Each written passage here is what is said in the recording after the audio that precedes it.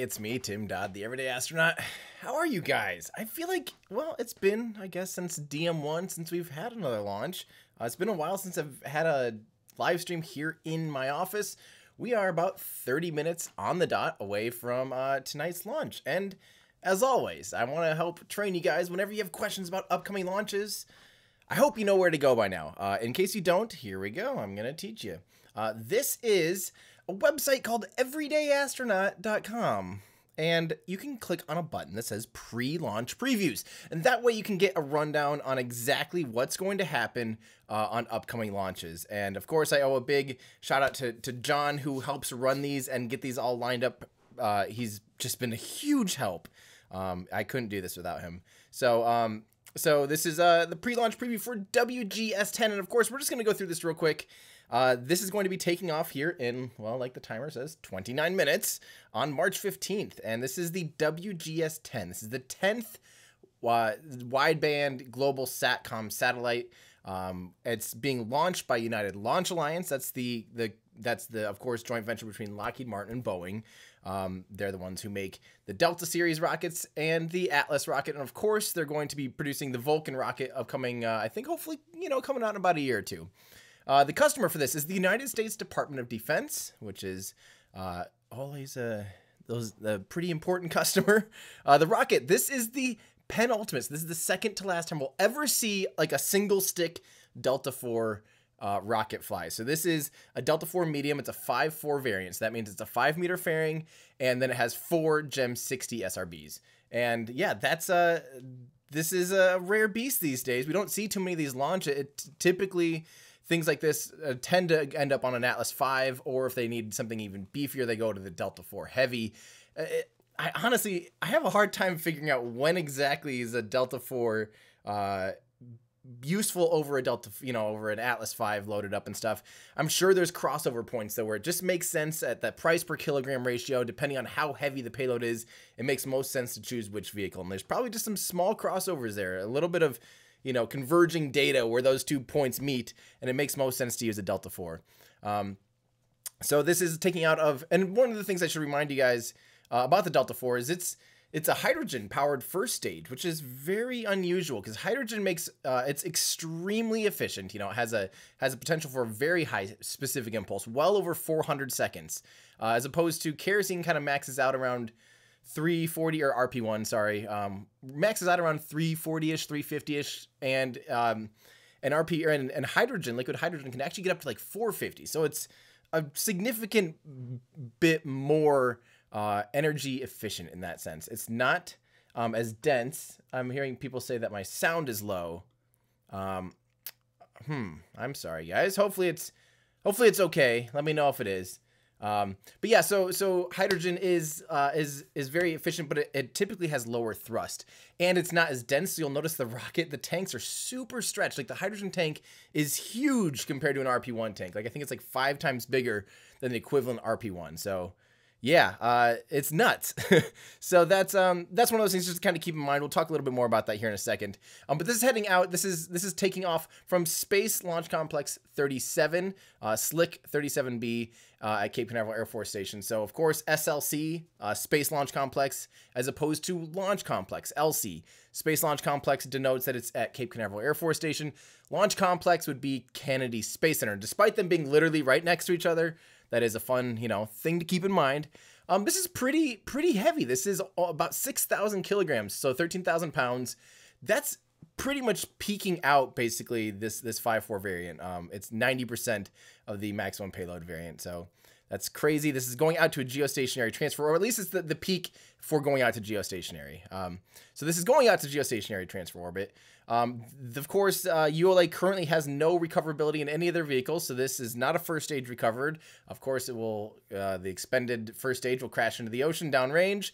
No fairing recoverability, but this is the 39th flight of the Delta IV rocket. This is the second to last Delta IV medium, second mission for United Launch Alliance this year, 133rd mission for United Launch Alliance since forming in December of 2006. So it's it's getting up there, and of course, we have the graphic by the wonderful Jeff Barrett. Um, I love looking at these; just kind of helps um, poop, make it have it all make sense. Um, I want to know, Jeff. I got to figure out where you're getting your your renders from because I think that's a really good. That's like the best render of a Delta Four I've ever seen. Um, I have a hard time finding some of those sometimes that all look like uniform. Um, besides Reese making them for me, and then they look fantastic. But yeah, so that's kind of what's going on here today. Um, I hope everyone's just doing fantastic.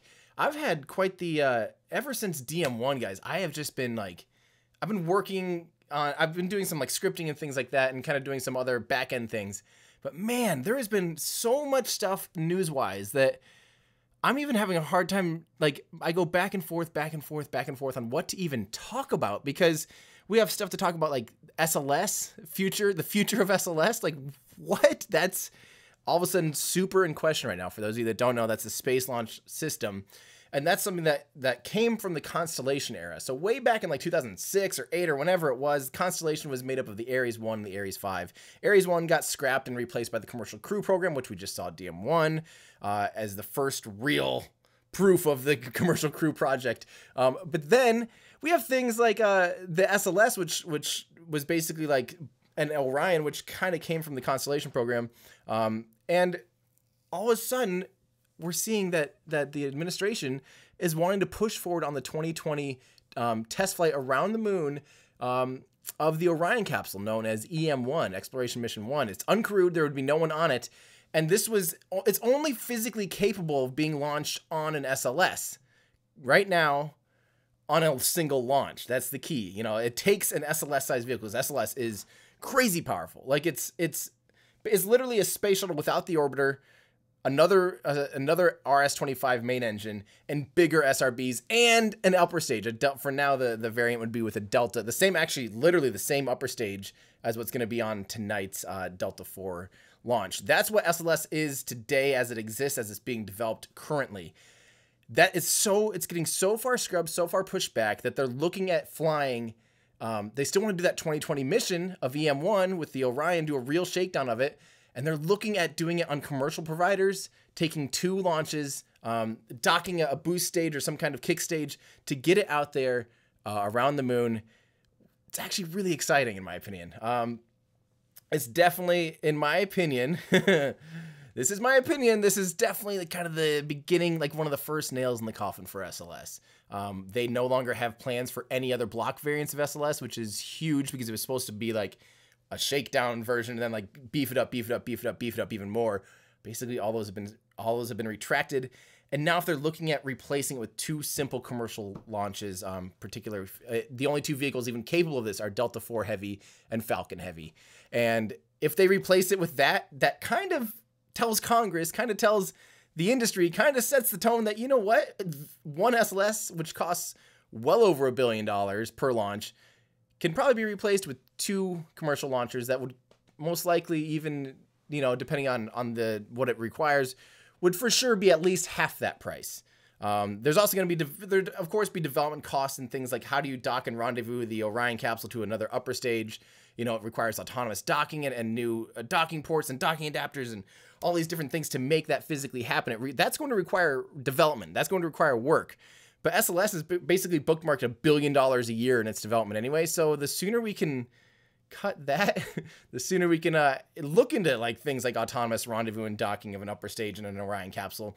Or even more important, imagine if we wanted to send like you know Europa Clipper size missions, really heavy payloads to say Jupiter or Saturn. Um, that would have required a massive rocket like SLS.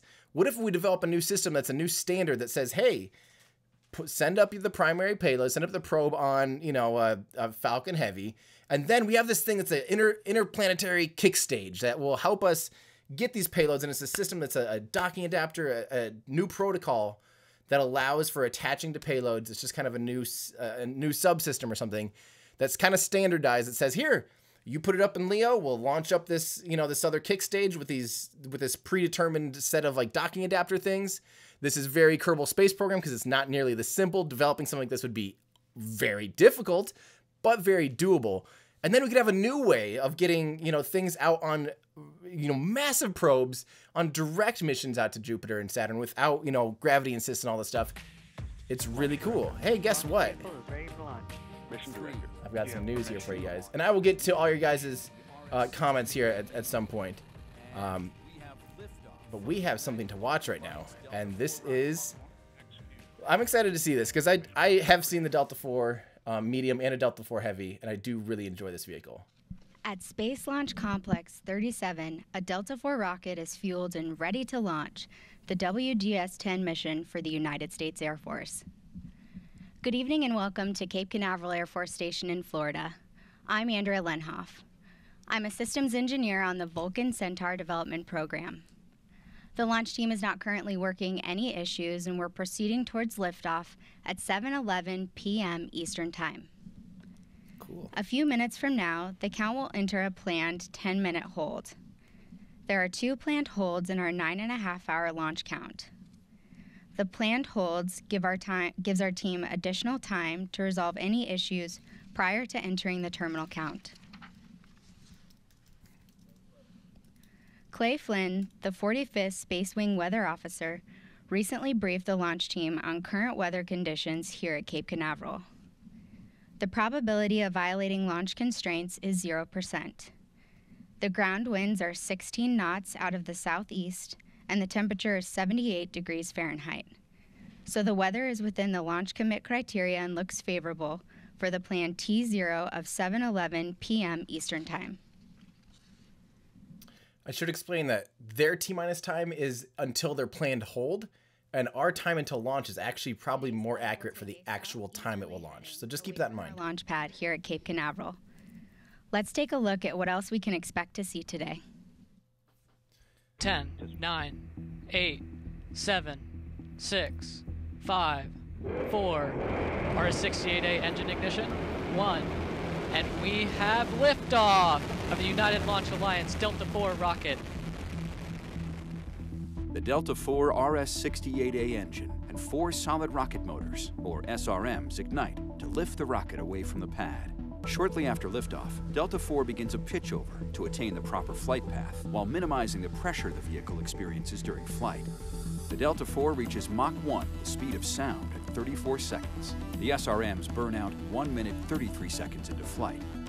Seven seconds later, the first two SRMs are jettisoned, followed by the remaining two SRMs. During ascent, WGS-10 is protected inside a 5-meter diameter payload fairing. At approximately 3 minutes 19 seconds, the payload fairing is jettisoned. Approaching main engine cutoff, Delta IV is burning propellant at a rate of 991 pounds per second, located 109 miles in altitude and 229 miles downrange. At 3 minutes 56 seconds, propellant levels deplete and the booster engine shuts down. Six seconds later, the Delta IV separation system activates to release the first stage. The vehicle now weighs a little more than 9% of what it did at liftoff. At 4 minutes 15 seconds, the second stage main engine. So because we're going to see this, I want to point out some fun things here. Um, number one is this upper stage uses the RL10B, or is RL10-2? Uh, B2? The one that has the extending nozzle. So the nozzle is actually nice and compact uh, in the inner stage, allowing for a shorter inner stage, and then the nozzle extends, and you'll actually see that hopefully in the webcast. The other fun thing is notice the orange part. That's the only part of the upper stage is actually structural. Um, the rest of, and that's part of the um, the hydrogen tank, the oxygen tank, and the engine and stuff. Um, don't carry any of the thrust load uh, while the first stage is attached. That actually all goes through the inner stage. I just think it's kind of unique that that stuff's basically hanging down into the inner stage. Um, there's a few other things that I want to point out, but I want to make sure we're not missing anything else here. Um, oh, it's another fun thing is that they ditch, um, they ditch their fairing before first stage cuts off, and that's different from, you know, For the, most missions, our customers provide artwork, which is added to the payload fairing. For today's mission, there are 10 stars organized around the perimeter to reflect the 10 WGS missions. The Hang 10 and Shaka hand symbol pay homage to mm-hmm. Boeing's Southern California Satellite Production Center and the local pastime of hanging 10 toes off the front of a surfboard. At the bottom, we read For the Warfighter to remind us of the impact and purpose of the WGS constellations. Finally, the platypus with a ray brings us full circle as it reemerges from the very first WGS logo. I have never, I didn't see that logo before. That is amazing. I never realized either that hang 10 means hang 10 toes off the end of a surfboard. I guess that makes a lot of sense. What if a shark eats one of your toes? Then do you hang nine? I mean, doesn't sound very inclusive to me. Um, but I did not know that. Looks like a beautiful. Oh man, that looks like a. This is gonna be like just perfect timing. Sunset. We're probably gonna have a gorgeous sky. Oh, I'm excited to see what that actually looks like here today. Um, and of course, you can see some of the liquid oxygen venting there. Um, that's normal, uh, especially this the Delta Mission Control. We are about to enter a planned 10 minute hold. so yeah, so now you'll see in t minus four minutes, or they'll, they'll hold here at t minus four minutes, and we'll go into a 10 minute hold. So that's why you see my launch timer up here, the time until launch. That's the actual time we hope to see this thing take off. So now you'll see the clock. T their clock will four stop. minutes holding. This is a 10 minute built-in hold. ALC, normal. please adjust the clock for a new T0 of 23 colon 11 colon 000. Roger. LC switch to the not ready position. And these holds are planned. This is intentional. This is when they do the review. Built in Decatur, Alabama, the Delta IV Medium Plus 5.4 includes a common booster core powered by an Aerojet Rocketdyne RS-68A engine and four orbital ATK solid rocket motors. An Aerojet Rocketdyne RL-10 B2 engine powers the Delta Cryogenic second stage. WGS-10 is protected during ascent by a 5-meter diameter payload fairing. Final launch preparations began on February 18th when WGS-10 was encapsulated inside the payload fairing. On February 26th, the encapsulated payload fairing was transported to the Mobile Service Tower, or MST, at Space Launch Complex 37 and mated to the Delta IV rocket. Approximately nine and a half hours ago, final preparations began at Space Launch Complex 37. Using 40 hydraulic cylinders at pressures nearing 3,500 psi, the 10 million pound MST was raised 8 inches and rolled back, revealing the Delta IV launch vehicle. It's crazy. The whole building moves. Using a carriage transporter system, traveling at about a quarter mile per hour, it takes about 25 minutes to roll the MST to its final position 345 feet north of the Delta IV rocket. The Delta IV rocket stands 217 feet tall, or about 21 stories, and weighs more than 900,000 pounds fully fueled. The RS-68A main engine and four solid rocket motors combined to produce approximately 1.7 million pounds of thrust at liftoff. About four minutes later, at stage separation, it weighs just 10% of what it did at liftoff.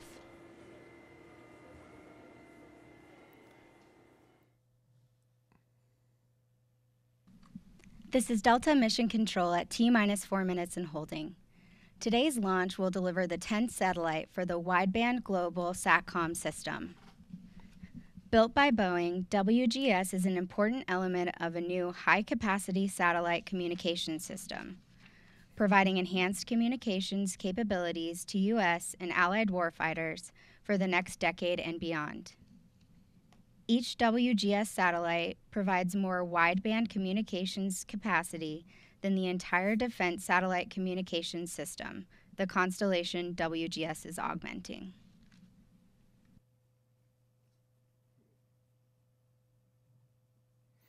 Cool. Um, Later in the broadcast, we'll learn more about the WGS mission when I'm joined by Tim Maurer, Boeing software engineer, and Sam Wiley, U.S. Air Force Chief of Business Operations. Also, make sure to stay tuned after launch because Sam, Wiley, and I will be hosting a game of trivia on Twitter featuring questions about past WGS missions. A few minutes after liftoff, questions will be posted on ULA's Twitter account, and the first person to comment on the question with the correct answer will receive a very special prize. We're doing this. We're definitely doing Answers that. and winners will be announced shortly before spacecraft separation. In addition to watching our webcast, you can always follow live mission progress at ulalaunch.com. Sweet.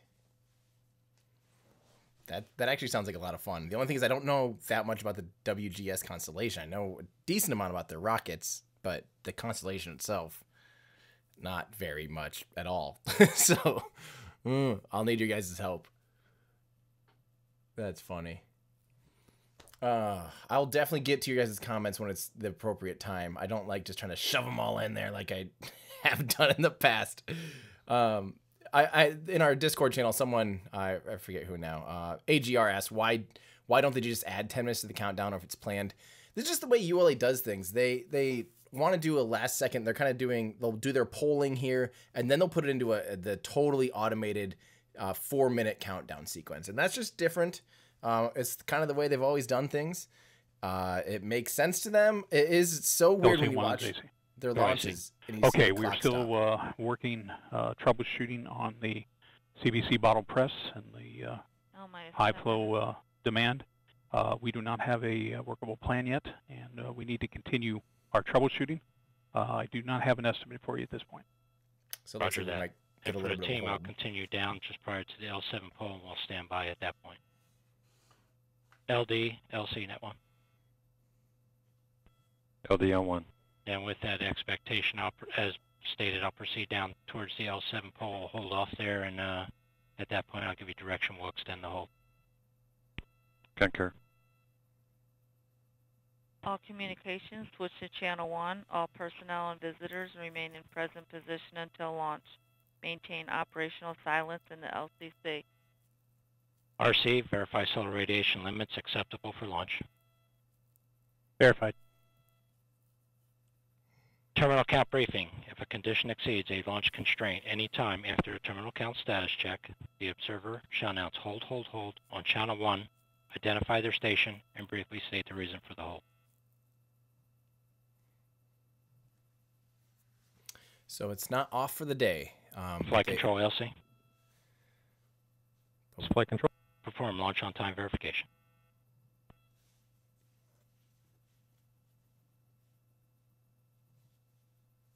OSM, verify the hold fire switch is in the proceed position.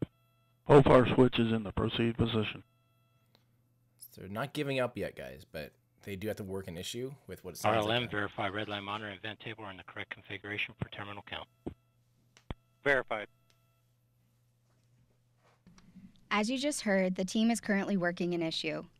We plan on extending the built in hold to work this issue.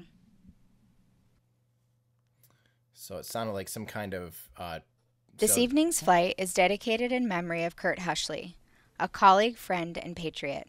During his 30 year aerospace career, Kurt held critical roles on multiple programs, including High Endo Atmospheric Defense Interceptor, Nighthawk, Space Station, and various classified programs. He finished his career as electrical installations lead for Delta mm. IV. Kurt was a supportive coworker, sharing his wealth of design knowledge, as well as a consummate professional, always able to deliver a quality product while adapting to design changes and keeping pace with a rapid launch rate. Kurt was a caring individual, dedicated to his career, family, and friends. He exuded joy and humor wherever he went and will be remembered and missed by all he touched.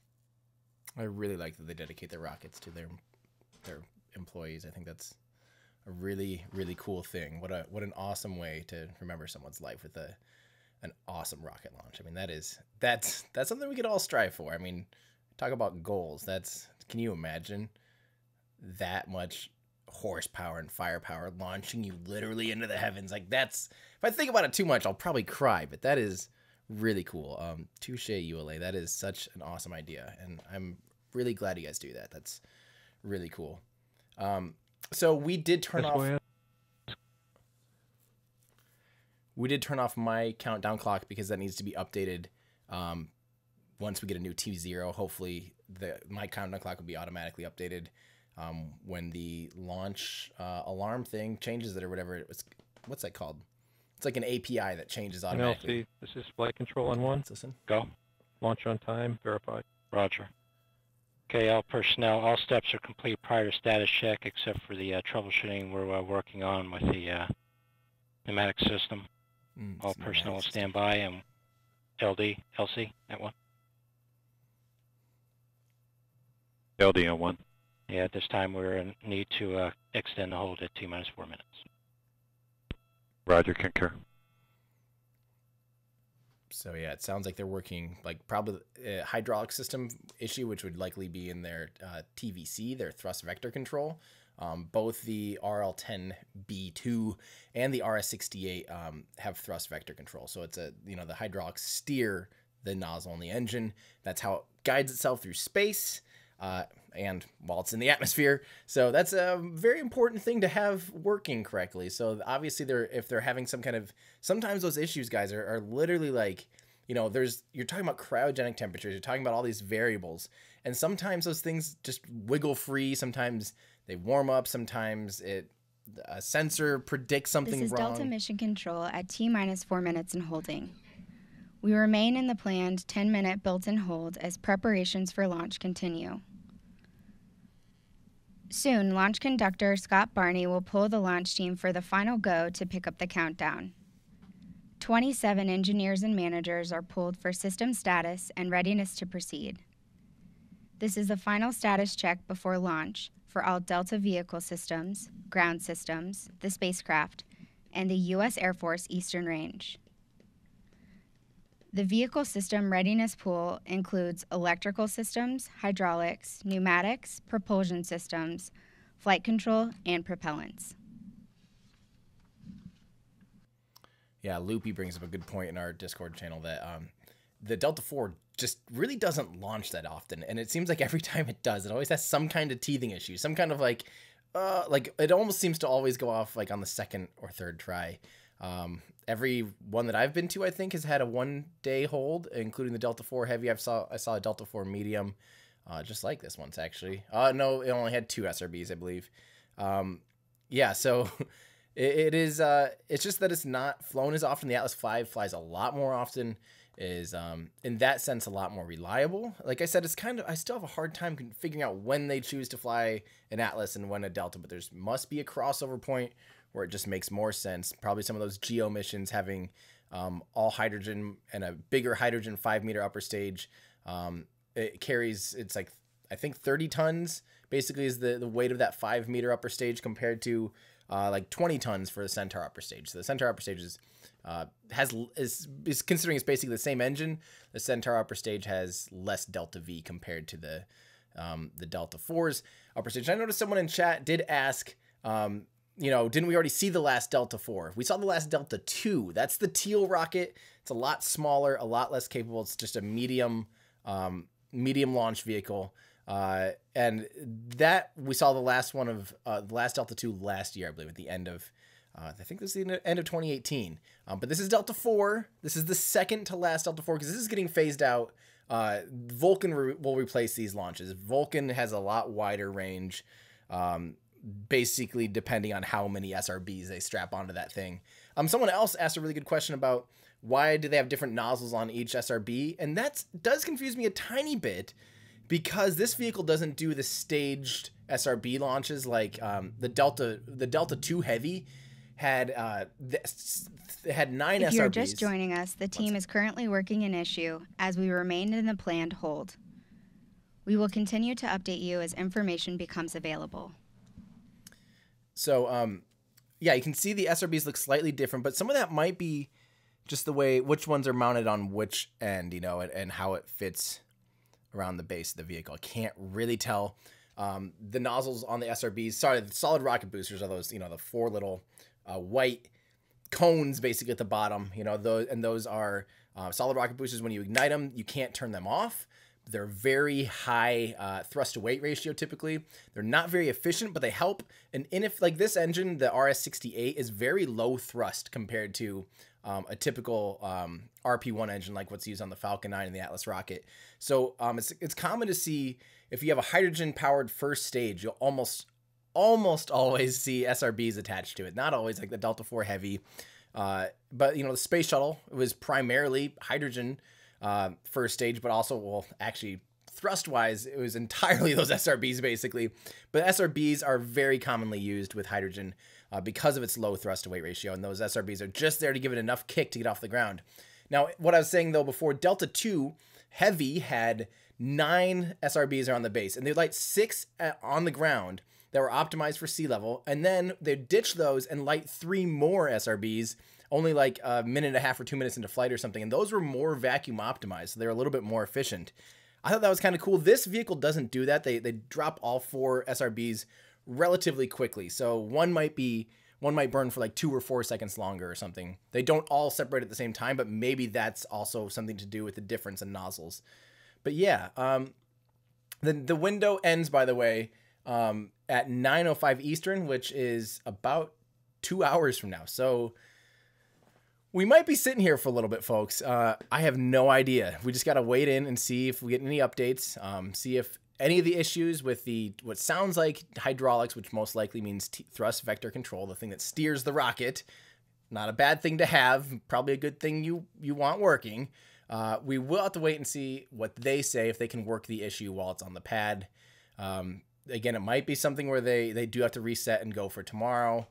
I don't know. Unfortunately, I'm actually probably going to be out of town for about the, next week or so. So if it does if it doesn't go off today, I don't think I'll be able to uh, recover from that and be able to, you know, live stream it with you guys, unfortunately. Uh, so I, I, do apologize. So, so taking as much of me as you can right now. I'm just taking, I, am taking a mini sabbatical. I probably, you probably see a lot of YouTubers taking little breaks. Uh, it's because the burnout threat is very real. DM1 wore me about to the ground. Uh, just so much, like, just so much everything. Uh, and it just kind of took a took a little toll, and I haven't quite recovered from that. So I'm just taking a little. Want to make sure I take a big deep breath, uh, reset, refocus, um, make sure that that I'm mentally uh, still totally where I want to be with work and everything, and make sure I don't burn out because I don't think most YouTubers don't recover if they burn out, and it's a it's a lot of work. Uh, the YouTube thing. I know it might seem pretty great, and it can be really great and can be really rewarding and really fun. But let me tell you, it's uh, when you're a self-motivated person and you end up working 80 hours a week like every week after week after week after week um, and waking up in the middle of the night to do random not only do things. we have the broadcast you are currently listening to we also just started a blog which can be viewed at our website ulalaunch.com also to stay up to date with the most recent launch information please visit our social media which is at ula launch at twitter and on instagram.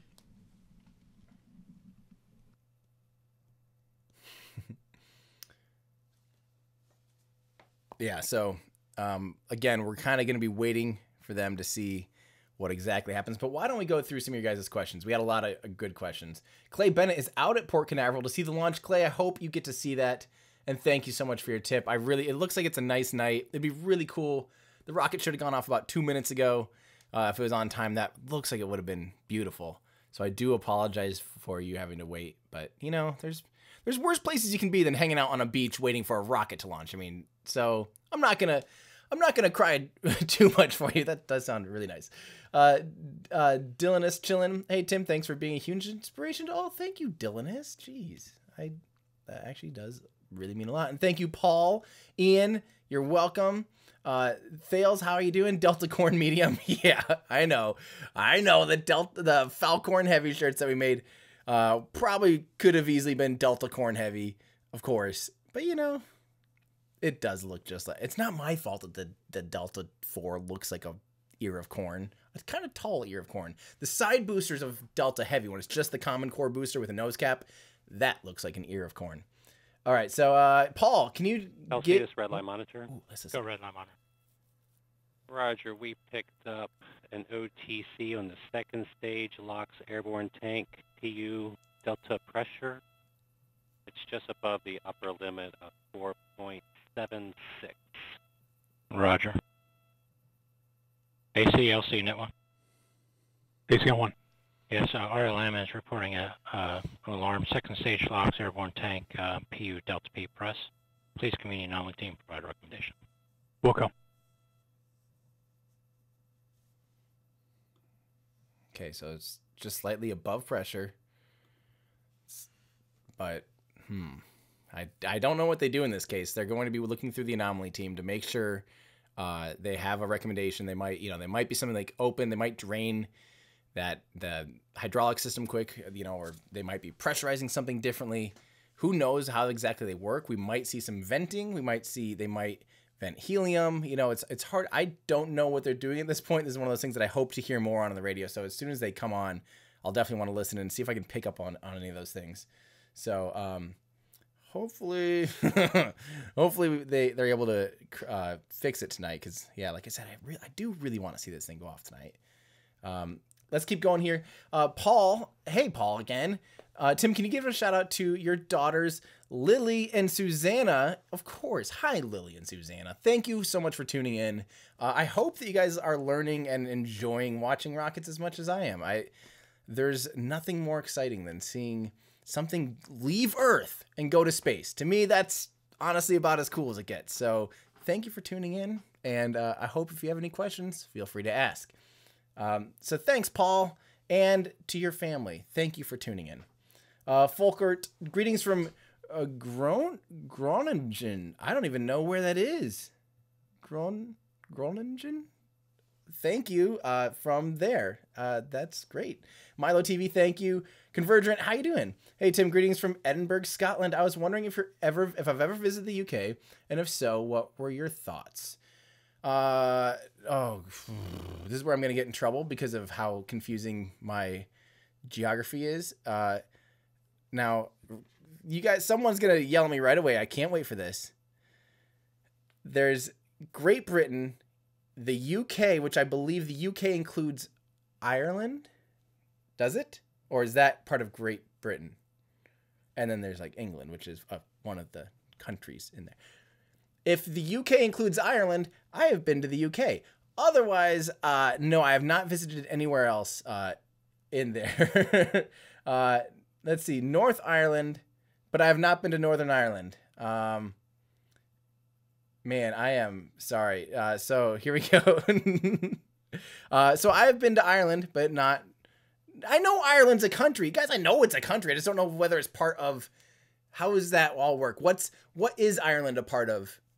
That is including Wales, England, like Northern Ireland. What's UK, England, Wales. Oh, you guys are going too quick. You guys are going too quick. I can't read. wait, wait, wait, wait. I did did I not call Ireland a country? Jeez. I said I was in the country of Ireland. What are you guys talking about? yes, I know it's a separate country. Okay, Ireland doesn't have to do with the UK. I am now learning that. But then what does Ireland have to do with? Because it's like I said, there's like four. Is that part of Great Britain? I'm aware that it's. I know that Ireland's in Europe. Oh, I am in. Okay, I know it has nothing. I know it's a country. England, Scotland, Wales, Northern Ireland. Okay, that's what I needed to know. The UK This is Delta Mission is Control those four. at T minus four minutes and holding. So The team is currently working the issue reported early earlier through a test. While we wait, let's look at some launch footage from the previous nine WGS launches, all atop United Launch Alliance, Atlas V, and Delta IV rockets. Well, I'm learning something here, guys. Well, first off, it's probably not a very good sign that they're just going to show us a bunch of launch footage. Um, that probably means that we're in some fairly significant hold here. Okay, so I'm I'm learning um, uh, that Ireland is fully Ireland. For some reason, I thought there was still a name that embodies all of those islands as like one thing. Maybe it wasn't like you know the United Kingdom. I apologize there. But I always thought there was like one name that unifies all of that. Because like I don't I know, you know. Okay. I, I'm learning. I'm learning. uh, on this episode of Tim Doesn't Know.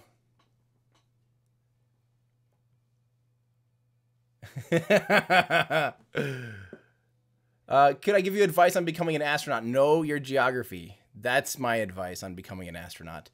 So, okay, back to back to uh, so greetings from Scotland. I've never been to the UK. Now I know how to answer that question. Nope, I've never been to the UK, but I've been very close to it and to its brother. known as Ireland, and I loved it. I absolutely loved it. I've uh, I've flown. Have I flown in and out of? I think I've been into he. I've flown in and out of Heathrow before, but that's that doesn't count. That was just a, a stopover. But I that's definitely on my to do list for sure. For sure, I, there's so much that I want to see uh, in that area. Especially, I'm a huge fan of Top Gear, um, at least like old Top Gear. So I feel like I pretty much have watched and know everything but the uh, geography of of the UK.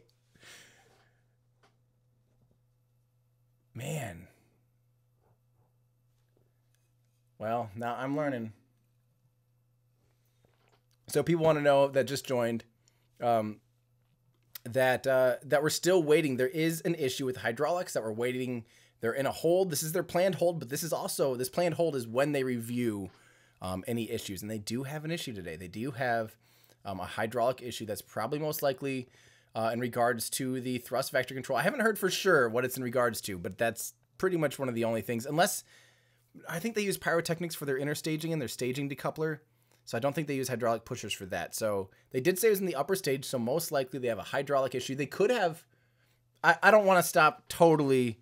Uh, I don't want to totally go down uh, a rabbit hole without hearing more information here, but those are just what what I would think of as likely. Um, so, uh, Intelligent Intuition, you rock at Space Talk for Peeps. Thank you. Well, thank you so much, Intelligent Intuition. That really means a lot. Um, I like space and I like talking to people, so hopefully that works out. Martin, I have no idea what I'm doing. I don't know why I really like that. Kumquat Lord, how are you? I, I've seen your name before. What up, my dude? Do you think you'd do a video on SRBs?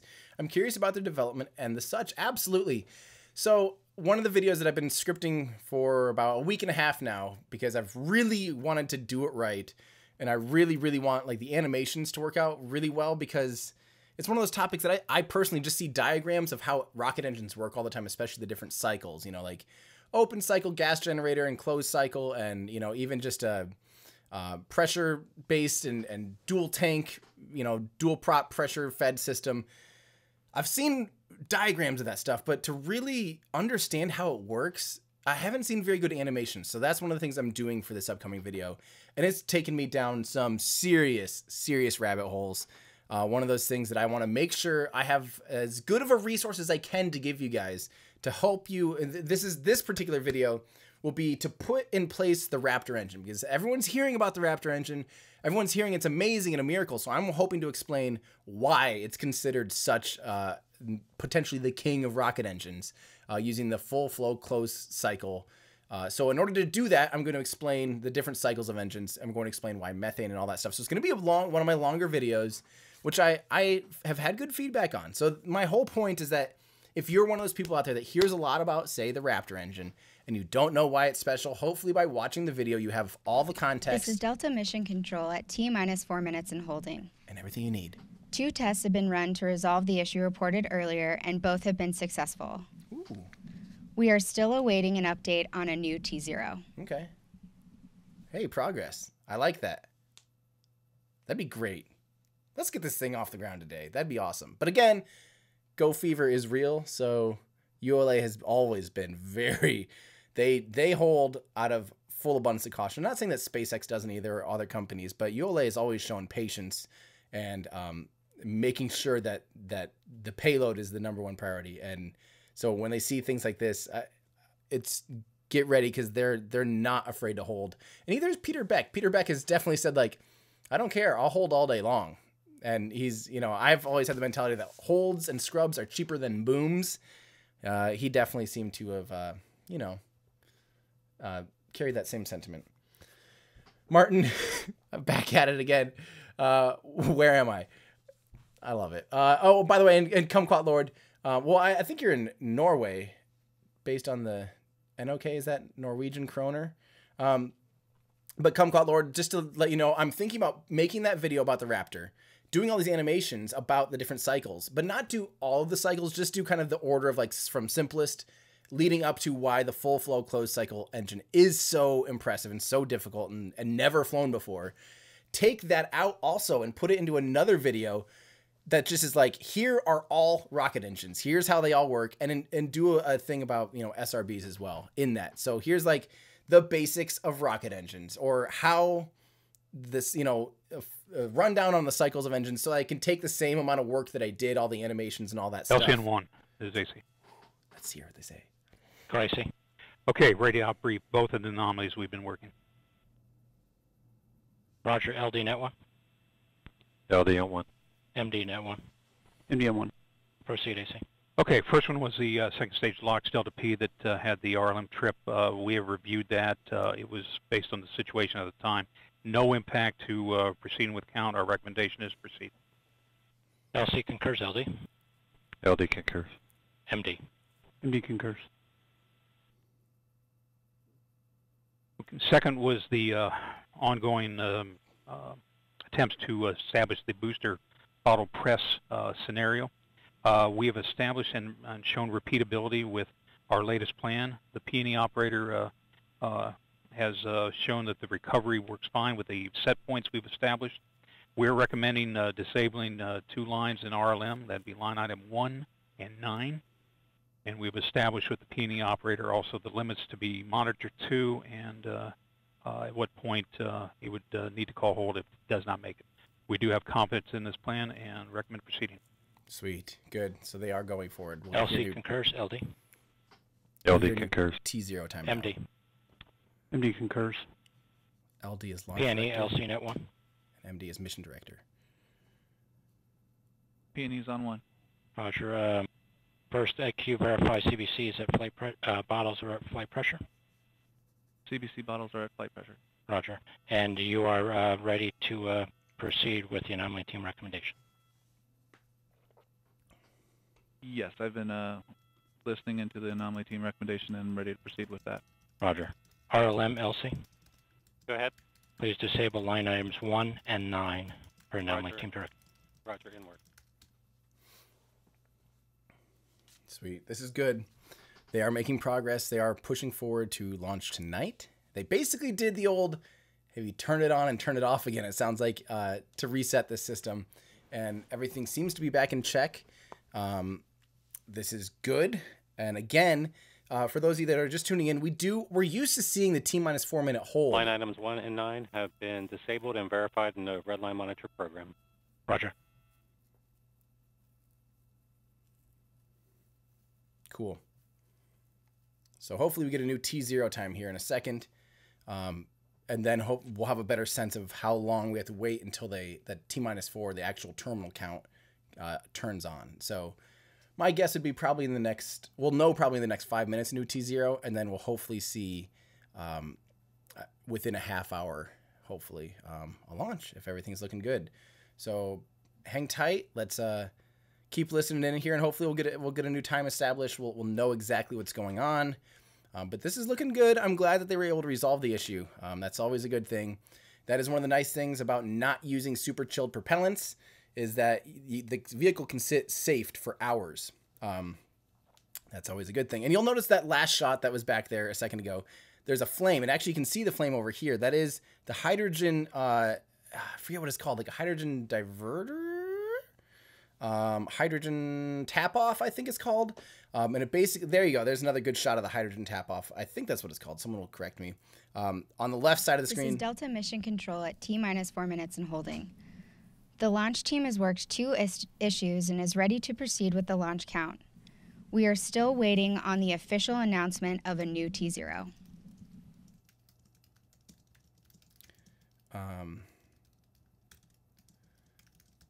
so yeah, uh, that shot. See right here. I don't know if you can see. Yeah, my mouse right there.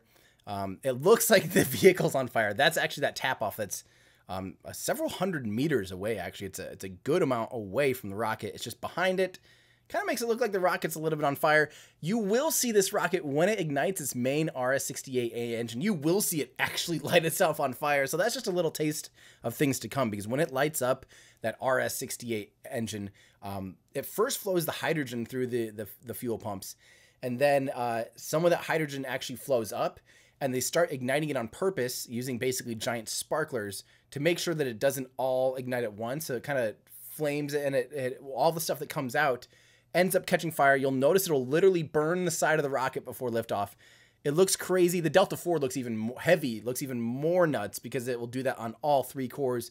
All three cores light up in fire. They get engulfed in flames before they take off. It looks nuts. Uh, it's expected. It's normal. Um, it's just the way the system works, and that's also actually one of the the concerns for human safety. That's uh, one of the things that factors into the reason why the Delta 4 is not human certified, um, is because of the old barbecue it does at liftoff, which, yeah, it's kind of a shame because this actually would be a, it's a fairly, you know, very reliable vehicle. And uh, it seems like, you know, it's the right diameter for something like Orion. Uh, we saw it launch on a, Orion launch on a Delta 4 Heavy in 2014 for EFT1 uh, in December. And uh, it looked perfect. Orion looked fantastic on top of a Delta 4 Heavy. So it's kind of a bit of a shame that it's not crew rated. Um, of course, the Orion capsule that launched for EFTN T1 was uncrewed. No one was on it. But it would have been really cool. That was the one that's AC. Okay, here we go. Oh, I see. Okay, we need to uh, readdress the Delta P uh, second stage lock um, recommendation. Uh, some additional information has been reviewed, and uh, I need to go to six with this. Roger. Uh, proceed to net six. Provide a recommendation. We'll go. So it looks like maybe that issue is still cropping up. They need a little more time to review, but again, time to review is not a bad thing when you're about to, you know, light a few million kilograms or whatever of hydrogen. You want to make sure everything's good to go. Sorry, probably not a few million, but a lot of a lot of propellant, a lot of a lot of explosive things. You want to make sure everything's good to go before you hit the go button because you don't you don't get a chance to to turn it off once it leaves the pad. Um, you're committed at that point and you better be darn sure you're ready to go. Once you once it leaves the pad once those srbs light you're going somewhere and you better hope it's where you're intended to go. So yeah maybe not a maybe not a bad idea. Yeah wiggle the cord. Um, a process flare there we go. Um, potential flammable gases burn off any excess to keep it from reaching explosion point says con wolf thank you. A process flare I've, yeah um, I've also heard it, I think, called, yeah, flare sounds right. So you can see that process flare over there, making sure that um, any hydrogen venting is uh, not causing any kind of dangerous clouds of, of explosive hydrogen. We've all seen the Hindenburg uh, footage probably, and you know what it looks like when a giant cloud of hydrogen blows up. Um, yeah. So hopefully we get a new update here soon. I'll keep going through you guys' uh, questions here. Joe, uh, never gonna give you up, never gonna let you down. I just got rickrolled. Thanks, Joe. Uh, I'm going to take that as not a rickroll, and I'm going to take that as purely. Thank you, Joe. Glad to know that someone won't give me up and you won't let me down.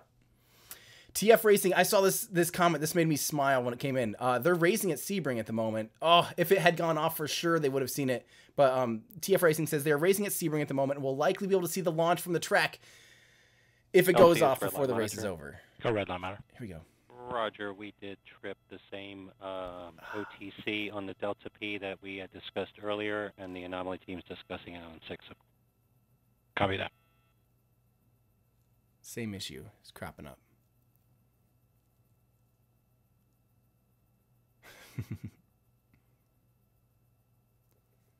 Dang it. Well, it's not over yet. It's not over until it's over. Um, they still have a good hour and a half at this point to work the issue while they're still within their window. Um, so who knows? Unplug it and plug it back in again. That does a surprising amount sometimes. Again, when you're dealing with cryogenics, sometimes turning off flow or um, you know turning off the cold aspect of it can unfreeze valves. Crazy things happen when uh, when vehicles sit out like this, and, and as the ambient temperature outside changes compared to the crazy cryogenic temperatures inside the vehicle as it's you know coming to life, it's it's pretty common to see little things uh, like all of a sudden stop working or all of a sudden start working while they're on the pad. It's not that uncommon, so we just get to play the the patience game and hope that it still happens to go off this evening um, before the time ends. So again, we have one and a half hours uh, on the dot basically left in this launch window for them to address the issue, get this baby flying. So mm, fingers crossed. Um, Jason, uh, sounds like I missed Jason's question. I didn't see anything from Jason. Hang on, I'm not.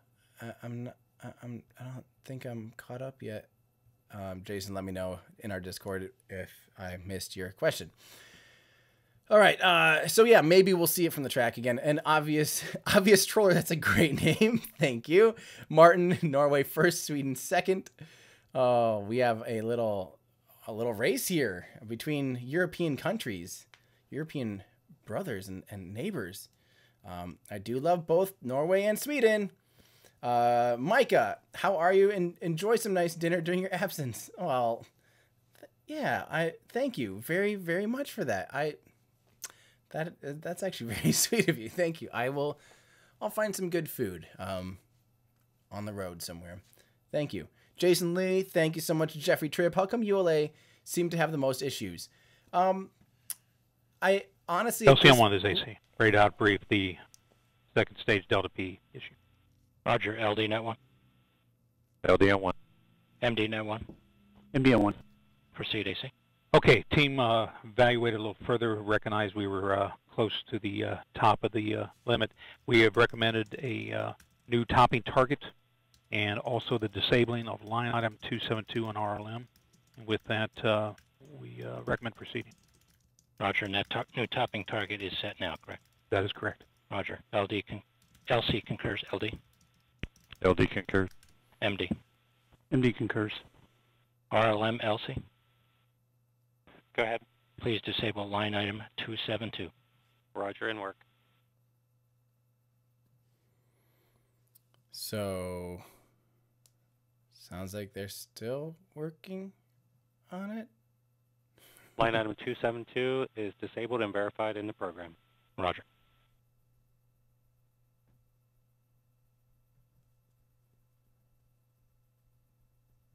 Okay, so looks like they don't have any reset on a time yet until they figure out if that issue is fully resolved. Sounds like they're trying it again at this point, and hopefully we'll see if the issue gets resolved tonight. Um, check ULA Twitter. I will check ULA. LCLD on one. Go LD. Yes, sir. Please coordinate a new T0 of 23 colon 52. Roger, 2352000. Good copy. RC LC net 1. RC in one. Please coordinate a new T0 of 2352000. Okay. That was 2352 Zulu. Correct. So Copy yeah, and they're working on them. ALC, set the clock for 2352 Zulu. Roger. That is about 14 minutes from now. That's their new target time. It's a good thing they have that. Let me see if my clock. There we go. Amazing. So that's that's the time they're looking ALC. for. Go ALC. Countdown clock has been set for a new T0 of 23 colon 52. We're currently at L minus 14 minutes. Roger. I think that's correct. Uh, that's that's a my countdown clock's a little bit. It might adjust. L you'll you'll see, minutes. but it's a little bit long, by about two minutes or so. So we'll see here. Um, by the way, I, I noticed when I when I checked my phone quick, I already have two emails helping me understand how Ireland does not fit into the UK. I learned my lesson to never show my ignorance on international geography again on camera. Uh, This is Delta Mission Control at T minus four minutes and holding. As you just heard, the team has established a new T0 of 7:52 p.m. Eastern Time.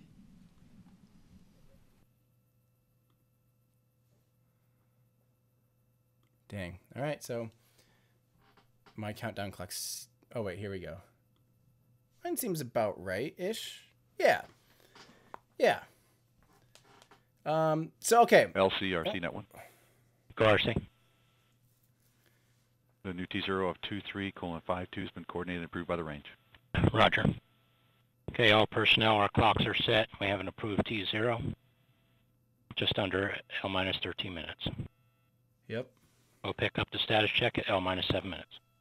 So five minutes until we have a real true status check. I'm sounded like they were still working that issue, but maybe um who knows? Maybe they're going on that backup plan they had because they kind of talked about we're going to disable a few things and, and read from a different monitor or something. I, I don't exactly know. I'm totally paraphrasing, but there might be something where they have like a subsystem that's still acceptable or a s another limit that's acceptable that they're maybe just going to say as long as this stays acceptable, we're going to push through. Um, sometimes they have things like that where it's like this is ideal we can still operate within this range or this temperature or this pressure or whatever But if that gets breached, then we automatically like boom, it'll it'll call hold, it'll trigger a hold. So we might be within that set of range ish, something like that. I don't know the exact specifics of what's going on, um, but they're pushing through. Eleven minutes from now, we'll actually in about four minutes on, we'll, we'll figure it out. So, um, yeah. So uh, again, thank you, Micah. Jason, thank you. Jeffrey Trip, how come ULA seems to have the most? That's right. Uh, that's where we were. Um, they just honestly aren't flying as often these days. So a lot, quite frankly, some of these boosters have sat around. LC, RD, RC on uh, Net One. Go RC. TDRS is uh, right at this time unable to support mandatory telemetry collection. We are no go for TDRS. Roger. Expected uh, resolution is beyond our currently planned T0. No. Copy.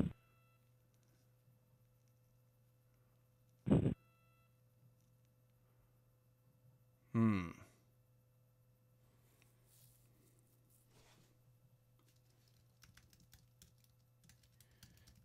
That's weird. It's this is still a delay. This is not a full scrub. They just said it won't. They didn't say it won't be able to handle support within the window. They said within the current T zero. So they're probably gonna have to refind a new T zero time. Um, I forget. Yeah. The oh there we go. Yeah yeah. The tracking and data relay satellites um, are currently unable to support for whatever reason uh, this exact T minus zero. So they are not able to use this T zero. But again, they have one hour and and 20-ish some minutes left in this window. So if they can get support back from TDRS, um, you know, if they can get back into that the the tracking and data relay satellites, if they can offer support again, uh, there might just be a I don't I don't know what causes support or not being able to support a launch from TDRS. I have no idea what constraints that has, but um, we'll see if there's an opportunity where that they can support it, and then hopefully a new T0 can support that. So let's scratch this countdown clock again until we hear something new. Um, this and so this goes back to your question, Jeffrey Tripp. How come ULA seems to have the most issues? I wouldn't call them issues because they have 100% reliability with their vehicles. Um, we might just we see that they aren't flying as often, so it does seem like they have scrubs um, as their hardware. Again, literally, they just they aren't as fluid. They aren't as This well is Delta oiled. Mission Control at T minus four minutes and holding. An issue with NASA's Tracking and Data Relay Satellite System, which provides mandatory collection of Delta f- 4 ascent data, will relay will delay liftoff beyond our new 7:52 p.m. Eastern launch time.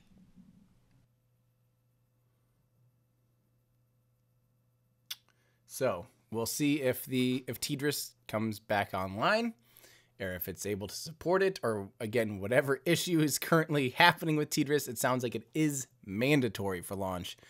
So we're not going anywhere tonight without uh, the support of the tracking relay and data satellites, which again this that's not that has nothing to do with with ULA. Um, that this could happen to any launch provider. So again, to answer your question, I think the main reason we do see additional delays and holds lately from ULA is they just aren't as well oiled of, of a machine, um, and quite frankly, their, their commercial uh, section of payloads and customers has shrunk a lot due to um, competition eating away at some of their some of their their launches. You know, specifically SpaceX has taken almost all commercial launches these days, um, which bites into ULA's um, launch cadence. You know, so they just they're they aren't as well oiled as they were at one point. They're seeing fewer launches than they have in the past, so you would expect some of these things to kind of pop up at time to time.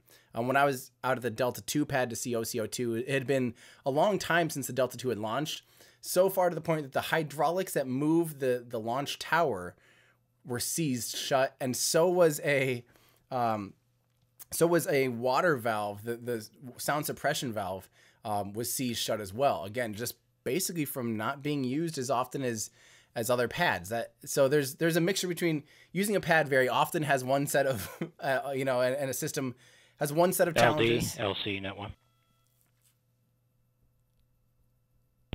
LD on one.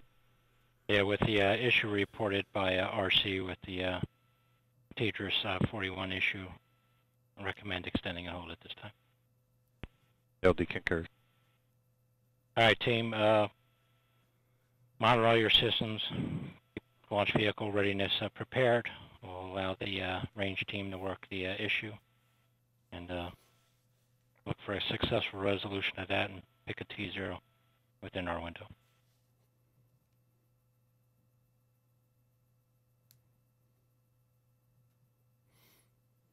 Okay. We will see. Ooh, dang. T Wolf RX7 in our Discord channel. This is first off, T Wolf. I don't welcome. I don't I don't think I've ever seen you in our Discord channel. Thank you for joining. Um, and I love RX7s. That's actually always been one of my favorite cars. I love the rotary engine. Super cool. Although very polluty, so now I'm a little more on the electric train. But always been a fan of the, you know, 13B, 20B. So sweet. Um, yeah, so TDRS, uh, T Wolf RX7 in our Discord channel says TDRS currently has a gap in tracking coverage over the flight path and should have full tracking back in place within 30 minutes. This is news to me, and this is uh, why I love our Discord channel because they are very, very smart.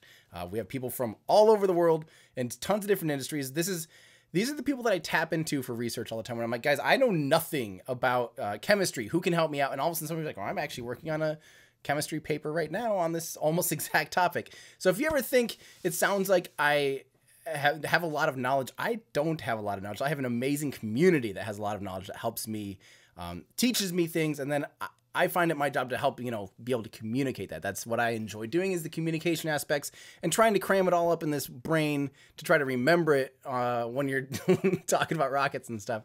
But uh, I, I, I hope I say this often enough that I, I wouldn't be, uh, the channel wouldn't be nearly as well rounded uh, as it is without the help of my Discord channel. And of course, um, we our Discord channel is available through Patreon. So if you want to become a Patreon supporter to help me do what I do, uh, patreon.com slash everyday astronaut. That is how you get into our, yeah, you know, that is how you get into our Discord channel. And I love my patrons and I love my Discord channel. It's an awesome community. So thank you guys. Friendly reminder. Let's keep going here. Um, so hopefully that answers your question, Jeffrey Tripp. Patricia, uh, just Google it. yeah. Um, uh, so, and now I'm getting the Ireland debate. So I'm I'm about 30 minutes behind on answering questions. Sorry about that. Cathal, Ireland is its own government, nothing to do with the UK. Ireland is British. Ireland not British. Ireland is in the British Isles. See, I knew you could classify it as something. Like I knew, I know that Ireland is its own country, but I knew it was also classified in something. It is a British island, right? Uh, or at least according to. Uh, we better not get back into this. We better not get back into this. That's where trouble happens. Thanks, funny nut guy. Corona Kivo, hey everyday astronaut. Corona, good to see you. Good to thank you for your donation. I like you. Kumquat Lord, the collective is the British ILC. Boom, boom, boom, boom. I knew it. Um, Tony Reedman, my opinion on Brexit. I can't even tell you apparently what Ireland belongs to and it's how it's related to if I don't have a good sense of that, I don't have any kind of scope to have any proper opinion on Brexit. So totally staying out of that. AMG wagon, maybe see Skylon Sabre Dev facility. That would be sweet. I would go. Uh, I would go to uh, to the UK just to see uh, the Skylon engines. Uh, that really cool Sabre engine. That would be sweet. It'd be like Kerbal Space Program in real life. I really am curious. I know they've invested a lot in there in in that new facility out there. I would love to see how that. This is, is Delta Mission along. Control at T minus four minutes and holding. The range is working a tracking satellite issue that is a requirement for launch. The Delta 4 is currently ready to launch and awaits a resolution and new T0. The window tonight extends to 9:05 Eastern Time. The venerable, Del- the venerable Delta family of rockets have been launching into space for decades. Let's take a look at the amazing history of the Delta rocket. Okay, so they're doing this. We'll, we'll keep. This is just gonna be music, probably. We'll let this play in the background here. Um, oh, that is, by the way, this is my favorite launch pad. I think in the United States. I know everyone loves 39A, but it's actually this one, Slick 6E which is the it's out in Vandenberg Air Force Base. You saw that the big mobile building move out. This site right here, a it's gorgeous. It's freaking gorgeous. Look at that. You have the mountains. and you have this cool building. But my favorite part about it is not only this is the only site in the world that twice was supposed to have people launch from the west coast, which means that people would have gone into polar orbit. Because when you launch from the west coast, you go into a polar orbit. When you launch from the east coast, you're not going to a polar orbit. You're going to some kind of, you know, eastwardly uh, trajectory. So, um, the thing that I love about the the West Coast launch site is that it's supposed to launch the MOL uh, program, which was going to be launching on a Titan two heavy or Titan four heavy, something crazy with a Gemini, like a Gemini B capsule.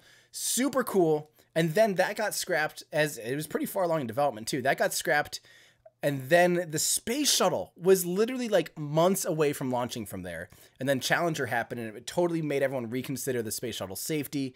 And they were literally like super close to launching the space shuttle from that launch pad. There's even pictures of them like they did a full all up test with I believe it was Enterprise, the the non-flight worthy um, shuttle orbiter. You know, was, or as a flight test, it was basically a glider test, but it wasn't. It never flew in, into space.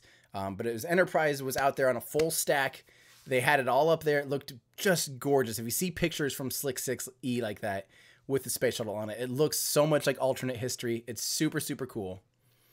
Um, yeah. So yeah, I, I love seeing that pad. Anyway, I love all this old. I've not seen some of this footage. I'm probably gonna have to. I wonder if they have this on their channel because this is some pretty cool footage. But let's keep answering your guys' questions because I am over 30 minutes behind on answering them. Spacing out. Hey Tim, me and my pops went to uh, went to DM1, both our first launches. We watch you all the time, and yesterday was his birthday. Could you give him a shout out? His name is Randy. Thanks a ton, Randy. Happy birthday. Uh, hopefully you get a candle lit just the day after your birthday. Uh, congrats on seeing your first launch. DM1 was a lot of fun. It was a gorgeous night launch. Um, I'm glad you guys were able to make it down to a launch. If you if you ever get the chance, if you have the smallest desire to go see a launch in person, try and make it happen. It really is magical. Something changes, something clicks. You realize it's very humbling to see a vehicle with so much raw power, how big of a vehicle it takes to put something so tiny just just up there, just just outside, just it takes so much power to break free of Earth's gravity, and it's it's really humbling. It's a really beautiful experience. Um, yeah, I highly recommend it if you ever have the chance. So, uh, so happy birthday, Randy! Everyone in, in chat, say happy birthday, Randy. Samuel, greetings from Switzerland. Hmm, I do love myself some Switzerland.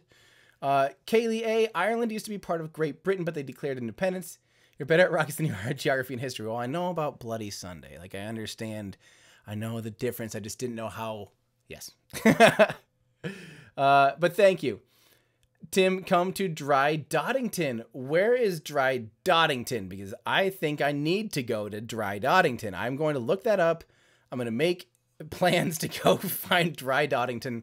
There is a Doddbridge Road, I believe, in Colorado. Um, every time I go out to Denver, drive right over or across or nearby to Doddbridge Road. I should probably find Dry Doddington. Uh, Donald Saunders, uh, keep up the good work, Tim. Thank you, Donald. Uh, and also thank you, Harry. I don't think I said Haley. And also thank you, Kaylee. I don't know if I said thank you.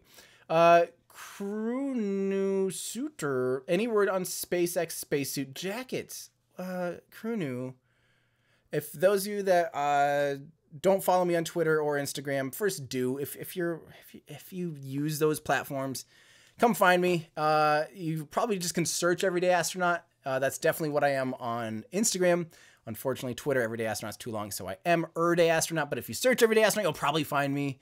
Uh, yeah, come follow me. I do have pictures up. I was wearing a SpaceX style spacesuit, like hoodie. It was a hoodie that looks and is cut just like the SpaceX spacesuit. Um, those will be up in my store in a couple months. I don't really have a good timeline on it. Uh, so stay tuned. Uh, they will be fantastic. And yeah, I uh, I'm excited to have them in there because it's it's they're they're really cool. They're really really cool. So so yeah, stay tuned. I'll let you know when. Uh, Tony, and thank you, uh, Tony. Your opinion on first launch of SpaceX Dragon 2 my opinion was that it was awesome. It was flawless. I mean, I talk about it quite a bit. Uh, people were asking like, where have you been the past week? I did like four guest appearances on on different things, including um, I've done two guest appearances on my favorite space news show tomorrow. So if you're not following tomorrow, I feel like I talk about them all the time, but they're definitely one of the, they're really good friends of mine. They do a fantastic production, but it's spelled T M R O to tomorrow, like tomorrow, T M R O. Find them on YouTube. Uh, you can find my opinions about SpaceX's DM1. I talk about it both like pre-launch or pre-splashdown, and then I did another one this week talking about the splashdown aspect of it uh, and the recovery. It was a flawless mission. I also talk about it a lot on my podcast. I do a podcast with two other YouTubers called Our Ludicrous Future. We talk about futurism. We talk a lot of. I talk about space. And then um, we talk about like EVs and electric vehicles and, and kind of renewable energy and things like that. We just kind of talk about the future. Ooh, look at that, a Delta 3. That's rare. That's a very rare rocket. so weird. It's basically a Delta 2 and a Delta 4 put together. It's it's a really funny vehicle. It always lit with with nine SRBs like that.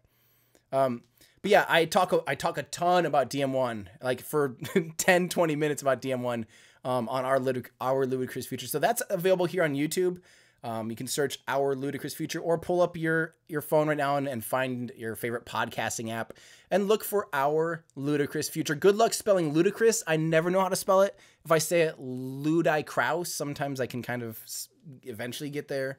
Um, after spell correct, autocorrect takes the rest for me. But Ludi Kraus, our ludicrous future. Definitely subscribe right now if you want to hear. That's I talked about it there. Also was I also did a a, a guest spot on um, off nominal podcast with the uh, with Jake and Anthony. Jake does um, We Martians podcast, and Anthony does MECO main, main engine cutoff podcast.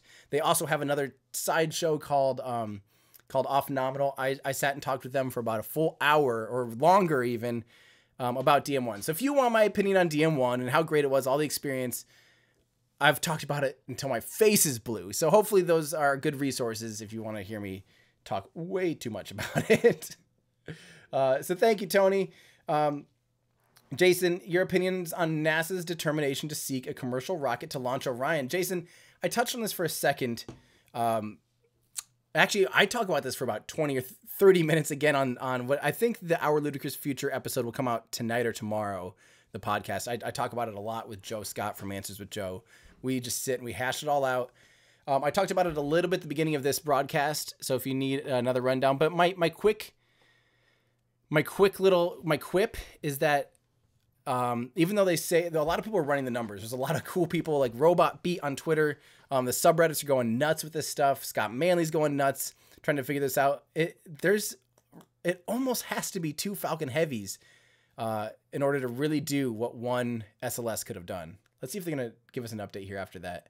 That was a nice long film though. Let's let's see where we're at here. Maybe. Maybe. Maybe they'll. Okay, I'll keep talking. Um, let's see. They did they give us a tweet update? Because I will definitely check in on that too. Nope, nothing. Nothing since that last one. So hopefully the the TDRS system is ready to support them here. We are waiting for those just now tuning in. They first had a hold because of a uh, out of sensor, like out of family sensor reading, or some kind of over not ideal sensor in their hydraulic system of the upper stage. Um, they kind of change modes and feel confident launching now, or something is okay to go. They're still within um, an acceptable limit. Um, but then once that was resolved and they got a new T0 times up, now we're waiting on. Um, no, I have not muted the audio. There's just nothing going on. I raised it back up. Um, the uh, now we're waiting on a new T0 time where they the tracking and, and relay data satellites are able to track and relay data uh, from the rocket. So that has to be acceptable too. Um, it seems like it was kind of out of phase for a second. So hopefully we get an update here that says that they are good to go. Um, one second here. Nope, that's not an update. Um, that's funny. Now, now my Discord's going crazy, showing me all these cool places named Dodd. Apparently, there's a ton of like uh, Newark, uh, Newark in the UK. Interesting. Um, Cedar Avenue and Dottington. That's crazy. Illuminati confirmed.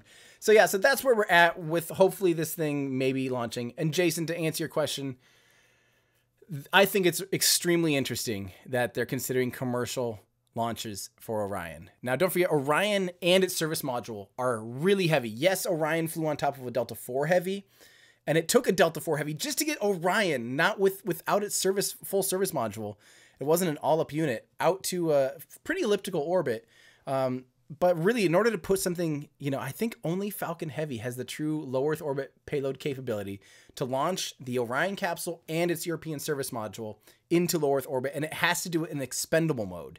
It cannot recover any of the boosters. That would be a very sad Falcon Heavy, but a really cool one because it it would have a, an Orion capsule on top, a huge, you know, the Orion capsule is huge, way bigger than Dragon and Starliner, and way bigger than Apollo. Um, Starliner and Apollo are, are, actually fairly similar in size. Um, but then when you see it compared to Orion, Orion is a big, big capsule. Um, totally deep space rated. It is a different beast than Dragon 2 and then Starliner. Um, yeah, it's so seeing it launch on top of a Falcon Heavy, even expendable, would be awesome. And then you would have to still send up a kick stage. Um, and in order for them to really do anything like that, it would take a pretty serious development. I have very much doubt that they could actually get it done by the end of 2020, which is what they're currently aiming for is a um, EF to get EM or wait EM1 exploration mission one of Orion. They want to get it out to lunar orbit within before the end of 2020. That would be a very lofty goal, considering they'd have to figure out a way to rendezvous and dock. This is Delta stage. Mission Control at T minus four minutes and holding. I'm now joined by John Gadarowski, who last minute has agreed to come in and talk to us about TDRS and their capabilities. Ooh, good. And why they're important. So yeah, thanks, Andrea. Um, so the the TDRS satellite constellation is an important asset because we use that to track the rocket and the spacecraft during ascent and uh, and during the vehicle uh, liftoff through the through the tracking of the of the vehicle all the way until the spacecraft separated. So, so the TDRS constellation is is a mandatory coverage op of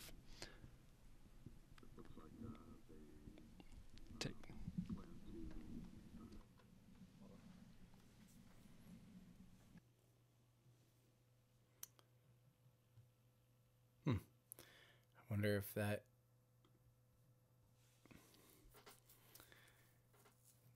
They may have had a some kind of audio issue there.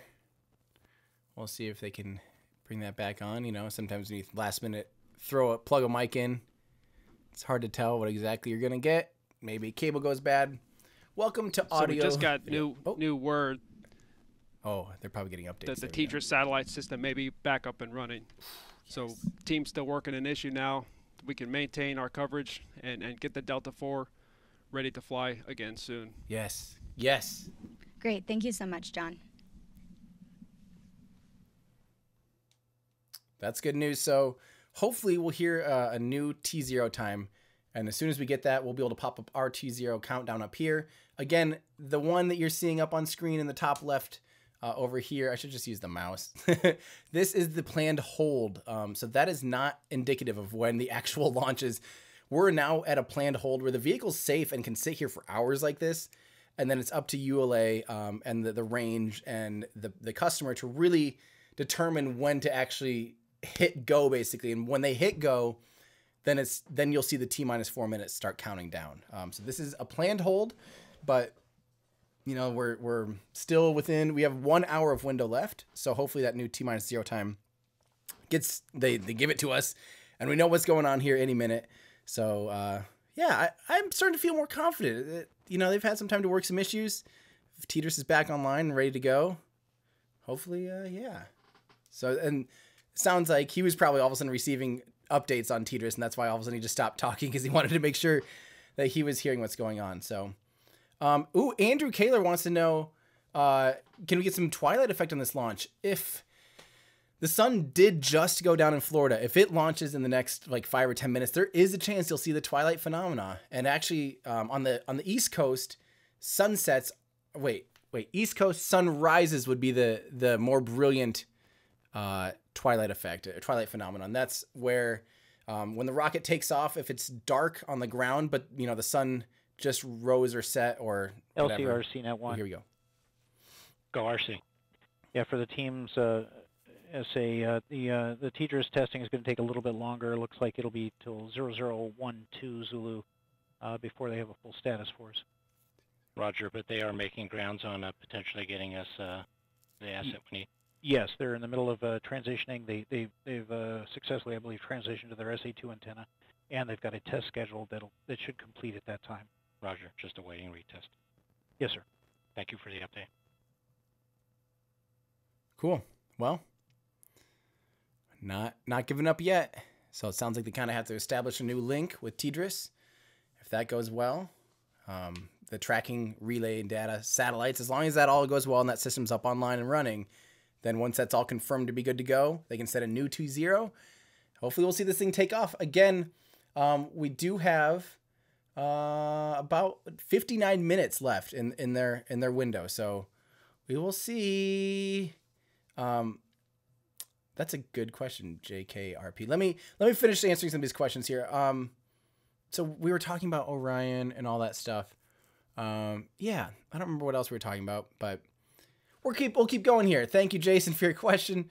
Um, Christian, hey Tim, once again watching your stream inside before walking outside right before launch to see it live. Hopefully, I am. That does make me just a little jealous. the The people of Florida are definitely blessed by being able to see rockets just take off in your backyard or front yard or or side yard or you know maybe you don't have a yard and you're like in a condo or something. Actually, uh, I met a guy at the meetup that uh, him and his wife they their balcony is looking really close right over the Max Brewer Bridge, like probably about as good of a viewing point as you can get for a you know if you have a uh, if you live somewhere. You could just like open up your blinds and just watch a rocket launcher sit out on your patio. That's pretty cool. I'm not gonna lie. That does sound pretty fantastic. That would actually be a cool place to to like. I'm surprised no one you know, like when ULA and SpaceX do these broadcasts. Actually, I guess NASA did it for the DM1 mission where they actually had like a patio basically, and the the presenters were actually talking with the rocket in the background. I'm surprised that's not more common that we don't see, you know, someone having like a, a studio 10 miles away or something. Um, yeah. Good luck, Christian. Hopefully we do see it tonight. And maybe there's oh, I remember I was talking about the Twilight phenomenon. Um, maybe we'll see that tonight. But again, so if um if it's pre-dawn and it's still you know it's before sunrise on the east coast and the rocket takes off, the rocket will end up being illuminated by the sun from behind because you know the sun rises in the east. So then that means you'd all of a sudden see the the exhaust plume light up. It's really brilliant. It's very pretty. Um, the prettiest ones though on the east coast, obviously, like I just said, are this are is in, Delta in Mission morning. Control at T minus four minutes and holding. A status update from the TDRS network is expected shortly. Okay. What's Roger, involved? CBC, both uh, LOX and hydro. And second stage hydrogen, the uh, second stage LOX is getting cycled now. Roger. Cool. AC, Um, LC, net one. AC on one. Yes, so properly it is recommending uh, performing valve cycles. I concur with that. Any uh, any reaction from you or BSE? Stand by.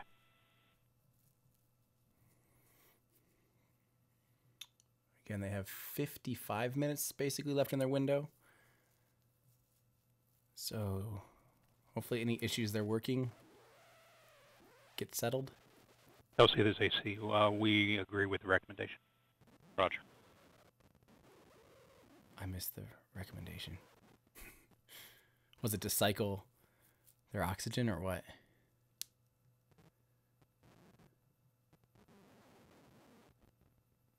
Fuel one, LC, net one. Go ahead. You ready to proceed with uh, foundry and valve cycle test? Roger. Proceed. LOX one. Go. You ready to proceed? Ready. Proceed. And field two. Field two? You ready to proceed with uh, foundry and valve cycle test? Ready. Proceed.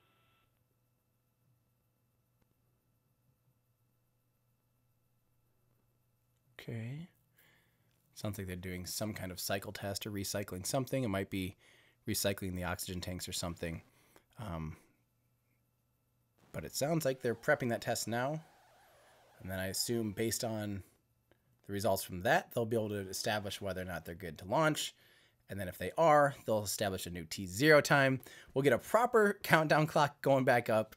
and hopefully we'll know what's going to happen tonight. If we're going to see this thing go off tonight, I really hope we do. Valve cycle test.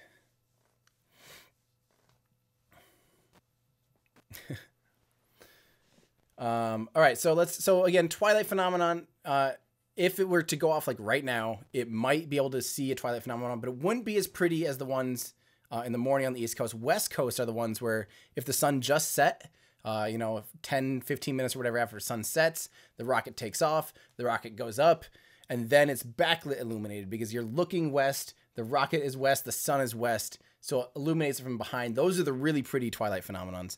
Um, but the um, the on the East Coast, the morning ones are the prettier ones. So that's yeah, there we go. Um, so S- Scott, thank you very much. Whoa, thank you, Scott. Jeez, I am 40 minutes late to seeing this. Uh, if you're still around, thank you so much. Seriously, uh, that means a This ton. is Delta Mission Control at T minus four minutes and holding. The launch team is postured to resume the countdown once the tracking network is confirmed ready to support tonight's flight.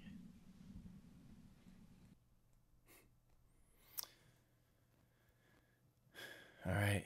Still hope. Still hope. Um, but dang, again, thank you so much, Scott. The Stig. what? I love the Stig. You got me. You got me already. What country do I believe will reach Mars first? I don't think it's going to be a country this time. I think Mars will be an international collaboration. I think it'd be unlikely that a single country at this point in, in where we're at, you know, seeing how Gateway and International Space Station has panned out. Um, Gateway is another example where we're seeing JAXA involved, we're seeing Canada involved, we're seeing Roscosmos and Russia involved. You know, we're seeing the United States and ESA. Uh, it's an international collaboration just to get a potential uh, lunar orbiting gateway, uh, a, basically a space station around the moon. That's international, and I think my guess would be Mars is such a big endeavor in, in Denver endeavor that it will require an international collaboration. I would love for it to require that. I would love for it to definitely. Uh, my only hope with with Mars is that it's not a touchdown with just astronauts from one country. I would really, really love for it to be um, multiple LC21. countries representing LC1. multiple nations. Valve cycle test is complete. Roger. LC LOX one. Go. Valve cycle test complete. Roger. LC Fuel 2, Go. valve cycle test is complete. Roger.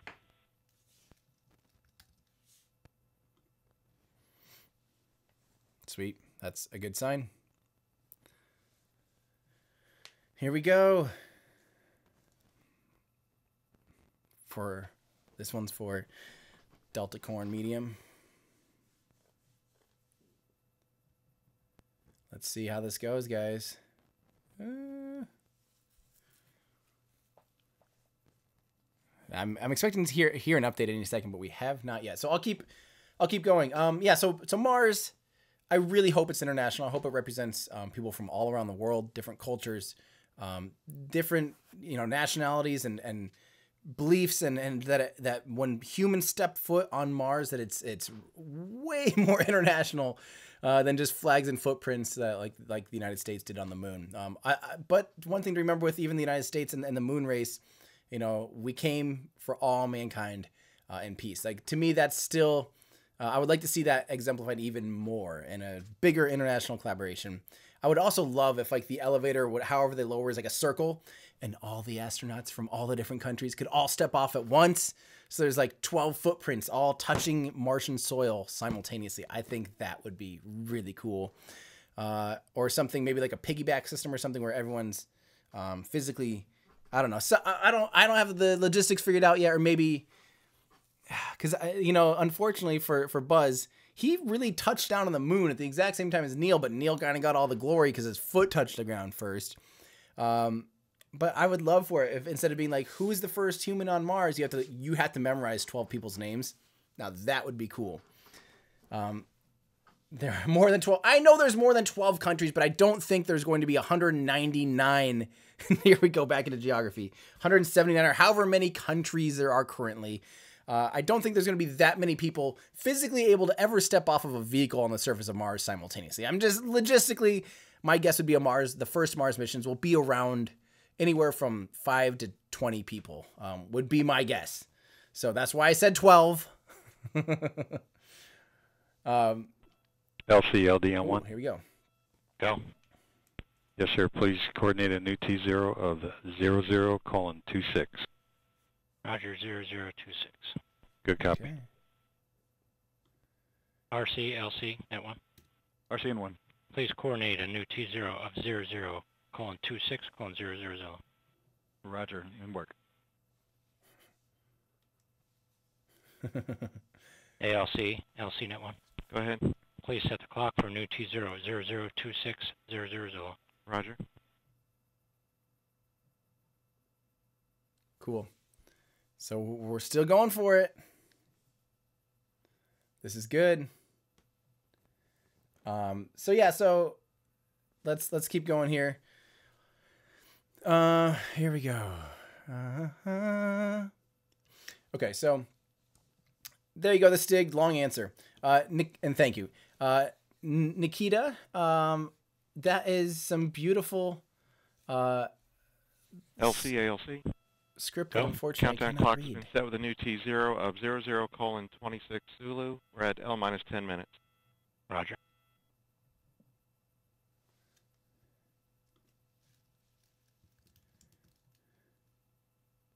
LCRC net 1.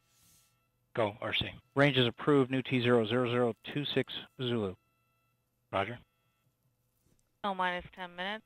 All communications switch to channel 1. All personnel and visitors remain in present position until launch. Maintain operational silence in the LCC. LDL. Someone's ordering some pizza, real quick. And, And uh, LC, we have a recommendation due to the uh, delay. We need to adjust the uh, second stage delta P one more time. Value's been uh, recommended by the anomaly team. Roger. And uh, LC concurs. LD. LD concurs. MD. MD concur. okay. And that was four decimal two zero, correct? Seven two zero. Roger. And LOX two, you you uh, copy that recommendation. I copy and it's complete. Roger. Sweet. Okay, team.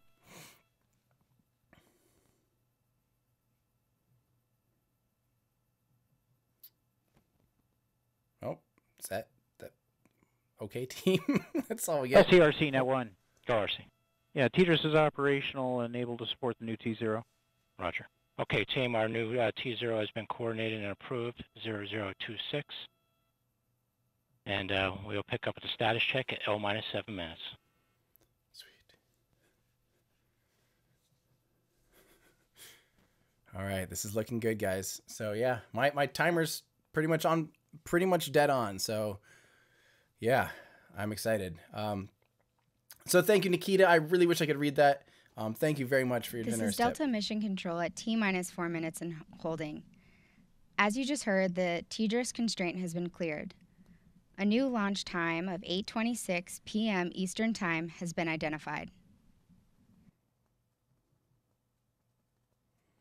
I hope we get into the terminal count. That'd be great. This is Delta Mission Control at T minus four minutes and holding. The team will pull in less than one minute. Um, real quick, Isaac asks, will we be able to use electricity as propulsion in the future? Of course, we use that now uh, with ion and xenon and Hall thrusters. Um, the problem is it doesn't work uh, in an atmosphere, uh, and it's very, very low thrust to weight ratio. So it only works in space. And unfortunately, the laws of physics and, and the extremely light uh, molecular weight of ion and xenon and, and basically using electricity as propulsion um, prevents it from being used as a ground based propulsion system. Um, it's a good question.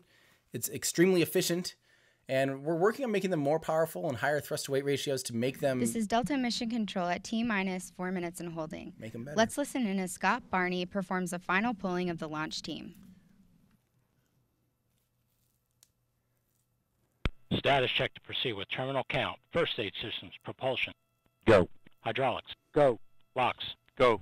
LH2. Go. Second stage systems, LOX. Go. LH2. Go. Electrical systems, airborne. Go. Ground. Go. Facility. Go. RFFTS. Go. Flight control. Go. Com. Go. GCQ. Go. Operations support. Go. Pneumatics. Go. Umbilicals. Go. HASGAS. Go. ECS. Go. Redline monitor. Go. Quality. Go. Op safety manager. Go. ELA safety officer. Go. Vehicle system engineer. Go. Anomaly chief. Go. Range coordinator. Clear to proceed. Launch director. Launch vehicle is ready to launch. Mission director. This is EMD. You have permission to launch. Yes. Proceeding with the count. L minus six minutes. MEQ. Establish swing arm lock pins pulled. Roger, and work. Cool. It's looking good. I told you guys, sometimes you just never know. Right up until almost not quite the last minute yet, but this is looking good. I really, really hope we don't have any issues here in the terminal count. I would love to see this thing go off tonight. Um, meanwhile, while we got a little bit Polling more is time, complete and the launch team is given a go for launch. The countdown will resume in approximately two minutes from now. At T minus four minutes and counting, the team will enter the terminal count and will begin securing the second stage liquid oxygen tank.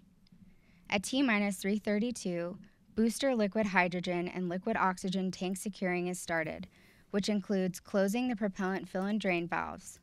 Also at T minus 332, vehicle transfer from ground facility power to its own internal battery power will be complete.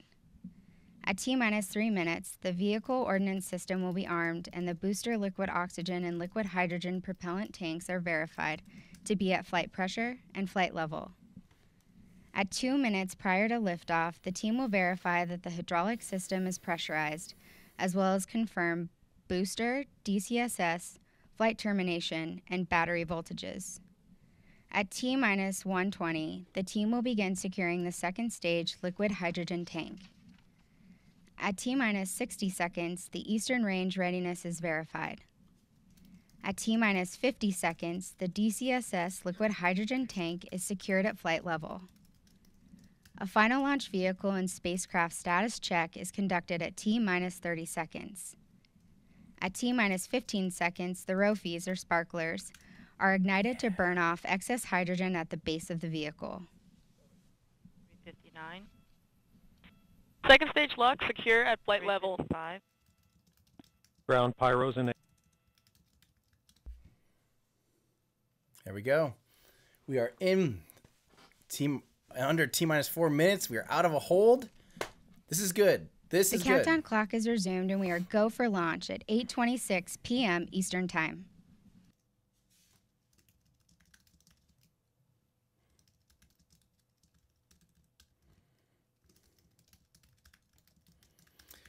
All right.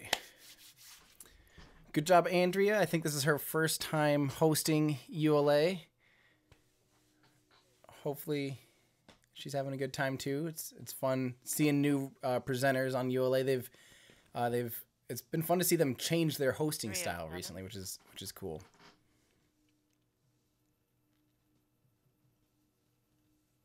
So there we go. I, yeah, T minus three minutes, guys.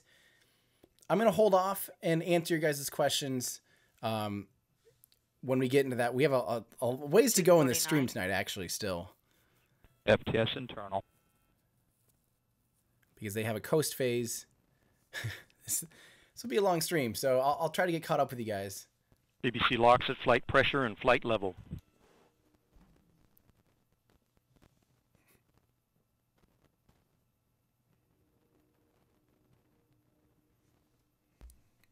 It's looking good. So, uh, how are you guys? you guys ready to see a rocket launch?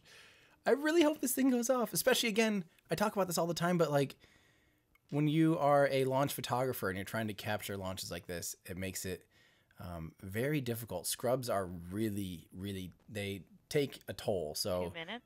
159. Vehicle internal. Hydraulic press at without. 155. So to my friends that are gonna provide awesome pictures of this, best of luck to you too. Especially and tourists. I think we're probably coming up on this has got to be you know like spring break time and, and I- CBC LH2 at flight pressure and flight level. 140.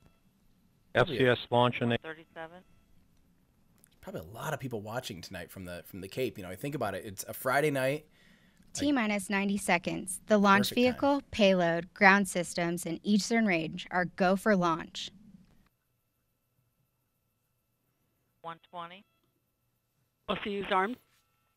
FCS count start. Remember, guys, we're going to see a big old fireball at about T minus seven seconds go up the side of the vehicle. They right, light their, I think they're called rofies. They're, they're giant sparklers that'll burn off the excess hydrogen as they start to spin up the hydrogen pumps and, and hydrogen T pump minus one minute. LOX go. inside the engine. Rock, report range status. Range green. Yes. 50.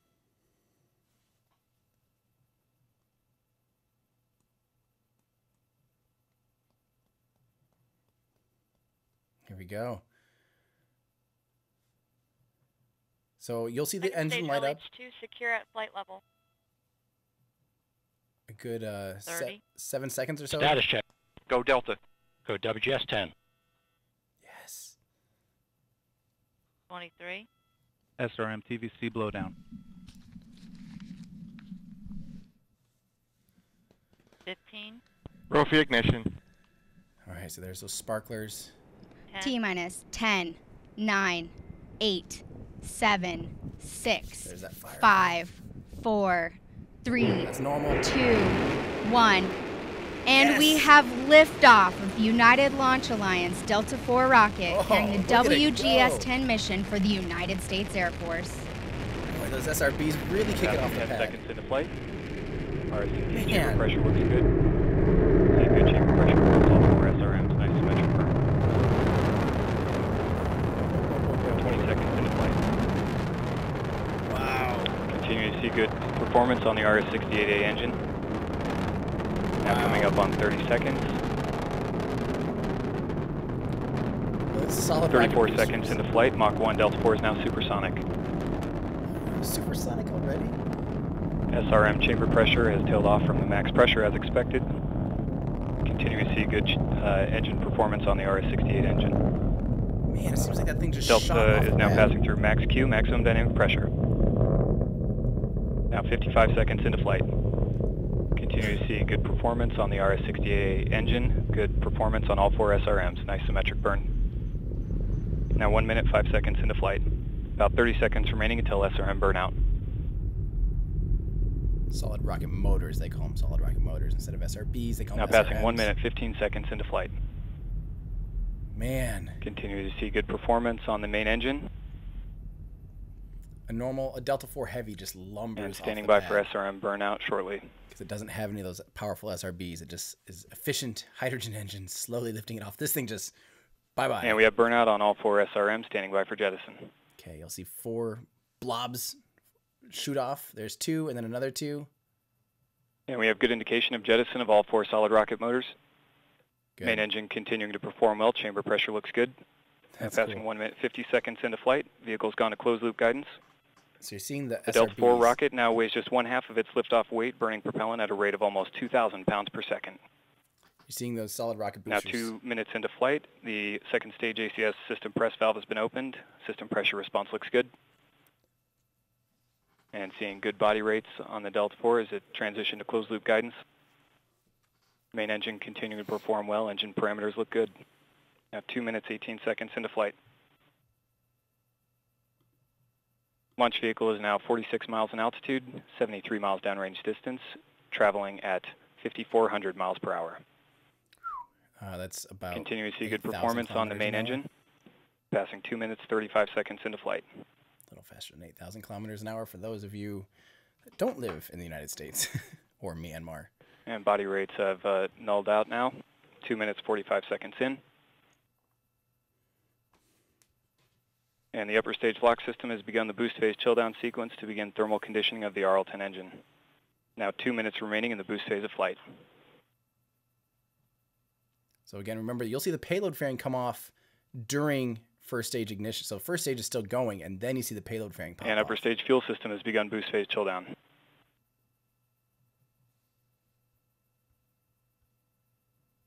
Standing by for payload fairing jettison.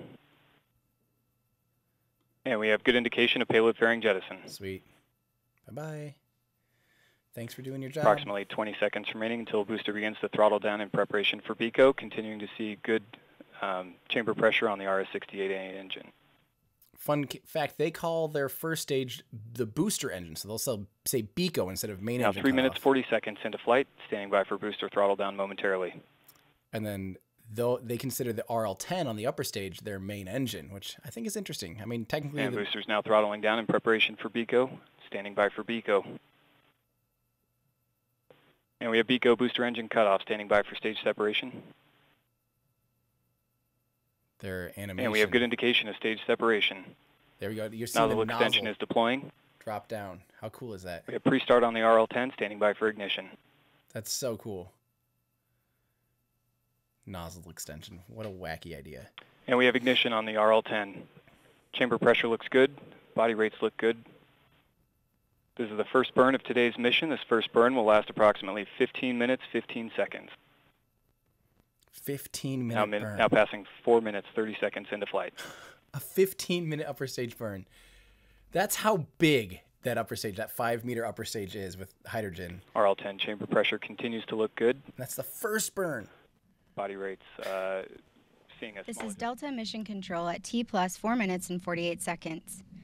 We've just heard Patrick Moore report the successful execution of the early events for tonight's flight, and all systems continue to operate nominally. The Delta IV second stage and WGS satellite are traveling over the Atlantic Ocean in a southeasterly direction away from the coast of Florida. The mission is now in the first of two planned RL 10 engine burns. This burn will last approximately 15 minutes. Momentarily, we'll hear from Boeing's Tim Maurer to tell us more about the spacecraft. But first, let's take a look at a message from the Boeing team on what it's been like working on the WGS program. Do you guys want to see this or or do you guys want to keep going with questions? I'll do whatever you guys want. Um, sometimes these things people would rather have me host it live because you can always watch this later. Let's I, let's I'll, I'll go ahead and I'll talk over this just because I, I know that people watch my content to be able to get their questions answered. So uh, if you want to see this, you can rewatch the official live stream. Um, and I, I think that's why people come here, right? Oh wait, I want the vid questions. See this, watch. we get both. Uh, okay, I'll I'll keep answering some questions. Uh, thank you, Evan. Thank you, Corona. Thoughts on Starhopper moving to the launch pad the other day? It's very exciting. Um, they're currently about to be mounting Raptor to Starhopper. Uh, I expect to see that thing hopping in probably a week or two. It's uh, not necessarily hopping, but its first uh, engine ignitions relatively quickly. They're moving at absolute breakneck speeds right now on the Starhopper program. Um, it's just nuts. So it's it's fun to see how closely people are watching that stuff. Um, yeah. So let's see here. Um, that's what I think, Corona. David, is that a bit of thermal protective coating on top of the fairing, the little black blob on top? Yes, it is. It's they have a little bit of ablative coating on top of the fairing. I also noticed that the fairing 2.0 or a, a couple of the fairings on some of the Falcon 9 rockets uh, have also had a little black tip, a little bit of thermal protection system, and that's something new that I hadn't seen before. Um, let's uh, let's see if we can tune back in here if they're going to give us any more updates on the mission. We're now joined by Boeing's Tim Maurer. Tim, thank you so much for being here. Thank you, Andrea. Great. I, I know I'm really excited to learn more about WGS and what you do specifically. So, to go ahead and get started, what I'd like to do first is just get to know a little bit about what you do and your involvement with the WGS program. Great. So, as you mentioned, I work on the ground system for the WGS spacecraft called the Global SATCOM Configuration Control Element. I've worked on this system over various roles since 2003, very near to the initial WGS contract award in 2001. The Army uses the Global SATCOM Configuration Control Element to control the payload. So, right now, I'm an integrated product team lead for the Mitigation and Anti Jam Enhancement Program, or MAGE. Okay, I've had people say that they want me to kind of keep going here about like answering your guys' questions. Uh, again, if if you don't want to see me here on the screen, it is your choice. You are in charge of watching YouTube, and you have the ability to watch the official live stream anytime you want. So, uh, yeah, I've had people be like, "Why is that guy uh, down there talking?" Like, you clicked on my video. What do you mean? Why am I talking? Uh, so yeah, I'll keep talking because that's what you guys are here for, I think. Uh, so yeah, thank you, Evan, and a bunch of uh, ones. Wrap it up, boys. We'll get them next time. Wrong, a bunch of ones and I's and whatever and L's or whatever your your screen name is. You're not quite correct, actually. uh, me, you know, they ended up getting it off on time, and, and I'm excited that it's it's now on its way into orbit. So, uh, thank you. Hi, Tim, love your channel, and you're really inspiring my photography. Just wondering, where is the archway looking out to L Slick 37B on your Instagram from New Jersey? Well, thank you, Da- ha. Um, yeah, I had a picture of me looking. That's the Apollo 1 launch site. And for EFT 1, um, the Orion test flight, um, on top of a Delta 4 Heavy, they actually let us go to, I forget what launch pad that is. Someone in my Discord, I'm sure Loopy or someone knows which pad that was. I forget the, which number it is like uh, 13 or something. Um, they let us set up cameras actually at the Apollo 1. Uh, and it was also ended up being where, you know, the first Apollo capsules ended up launching from too. Um, but they let us set up cameras there. I think if you do like an extended tour, maybe John Eric or someone in our Discord, or probably again Loopy might know, um, you can take an extended tour and, and go out to that pad through Kennedy Space Center somehow, or or maybe it's through the Air Force Base. There's a way to tour that pad um, it's really cool. It's really historic. They have plaques up. Um, hopefully, someone knows. Um, yeah, that it, that I love that, that there's a picture too. Um, I think you're referring to the picture where there's an arch, like it's like the cutout, and that's where you see the Delta Four Heavy taking off. Um, that's actually one of my favorite pictures because that launch pad was where they tested the Apollo capsule, and you're looking at the test of the Orion capsule. So those two images together are pretty cool. Um, there we go, Seth uh, says, uh, oh, it's the Vintage Space Tour. And Seth, uh, so it says P- Puppetillo. Uh, and Seth says it's the Cape Canaveral Tour from Kennedy Space Center. There we go. So that's how you can see that launch pad. Um, um, oh, it's, it's LC34, Launch Complex 34. Thank you guys. Thank you for all your wonderful answers. Um, Emily, it does not want to go to space today, and it did though. It, it you know, they gave it a little shakedown and wipe the dust off and is ready to go. Just had be, you know, a little coaxing. So, uh, thank you, Emily. Uh, Scapman Slaz, can we make it to the moon without SLS? We're about to find out. I think that's literally in review as we speak and uh, throughout the next week. I think we're going to find out if we can viably, with the vehicles we have today, Delta 4 Heavy, Falcon Heavy, if you can do multiple launches to a, do on orbit assembly and take significant payloads up to the moon and and out that far away. It takes a lot of energy to get from low Earth orbit up to the moon, um, uh, several thousand meters per second. I forget how many exactly, three or four thousand meters per second of delta V, and um, so uh, Falcon Heavy, you know, even an Electron can launch something to the moon. Um, a tiny little, you know, tiny little thing is capable of sending something to the moon.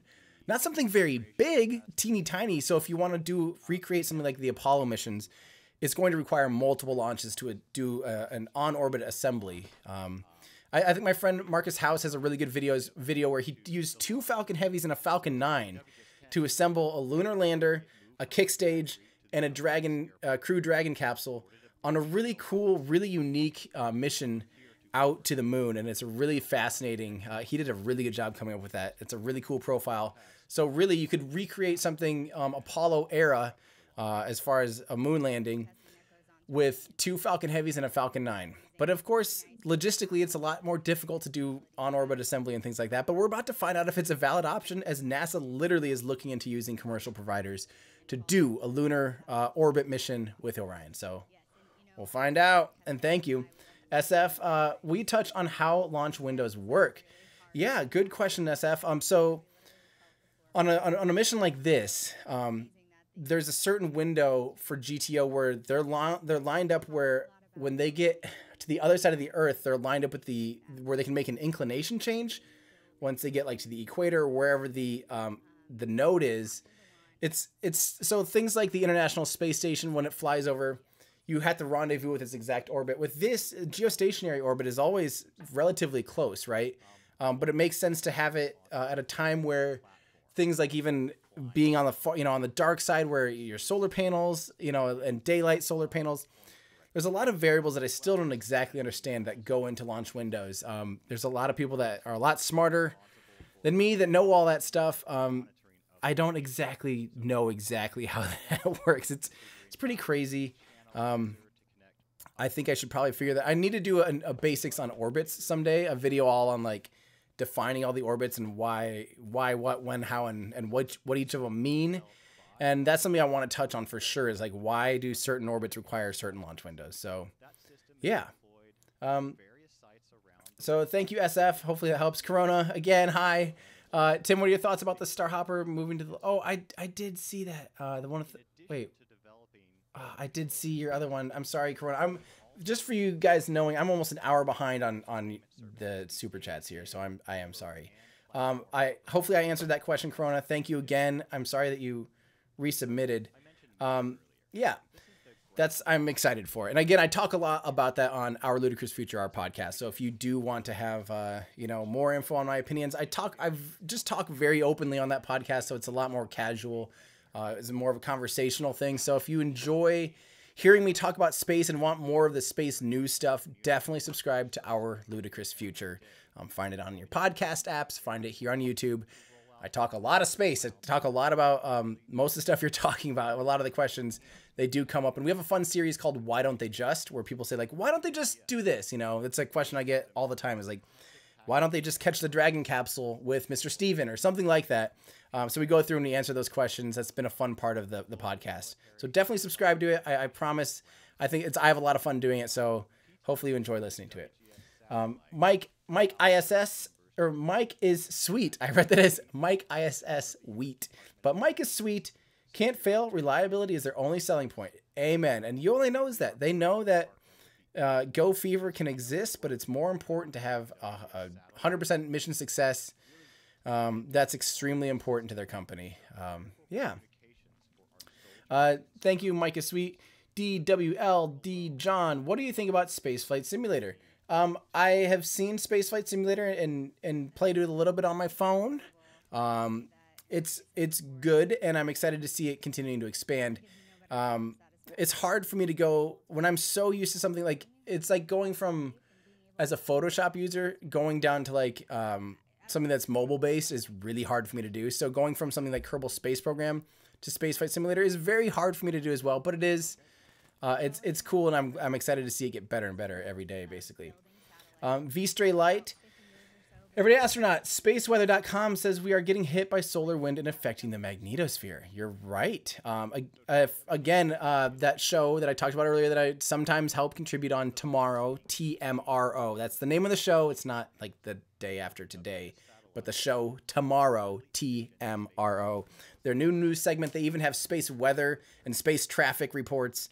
It's super cool. Uh, they do talk a lot about, they have a, a woman that is really good with space weather and I learn a lot about how the sun affects a lot of things. It's really fascinating. Actually, I didn't know how much I enjoyed space weather until I started watching that. So hopefully you guys get a kick out of that too. Um, definitely subscribe to Tomorrow TMRO. Um, the Maker Podcast, thank you very much. Chris Harris, enhance your calm, Tim Todd. Always working on it. We'll see.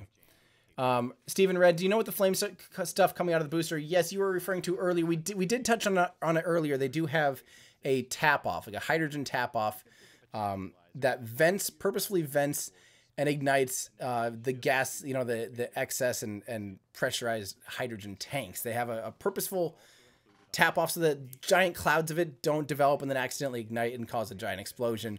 Um, you'll see a flame just kind of constantly trickling out um, burning off excess hydrogen. That's what that was. And in that one shot, it looks like the rocket is kind of on fire, but in real life, it's it's behind it by several hundred meters.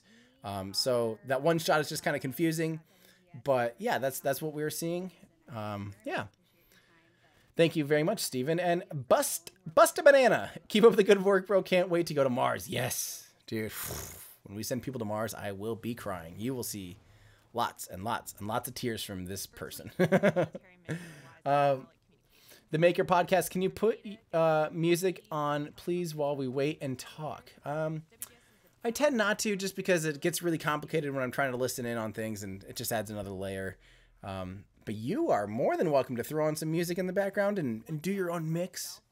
I recommend uh, there's an album called Maximum Aerodynamic Pressure by an artist named Everyday Astronaut that you can listen to on Spotify and iTunes. Okay. Uh, Phil Philix the Wolf. Which rocket would you rather fly with?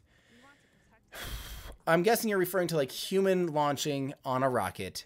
Um, you know, I would honestly at this point, where we're at right now, if I were to t- say like Tim, you can have the you can ride on the next, then you get to choose literally any of the next. So DM2 with SpaceX, you know, um, OFT the uh, the orbital flight or CFT, I think the crew flight test for for Starliner, an upcoming uh, Virgin Galactic flight or an upcoming um, Soyuz launch or even an upcoming Blue Origin New Shepard. Believe it or not, I think I would like to fly most on New Shepard. And say what you will, I I don't want to be in space for six months. Uh uh no way. That sounds terrifying. Uh, I want to see and feel weightlessness. I want to see the curve of the earth. I want to see the black sky. Um, I want to see that, and I really have a lot of confidence actually in the New Shepard system. Oh, here we go. Transients. Just shut down. And we have begun the thruster activity to uh, correct the, the body rate dispersions as expected.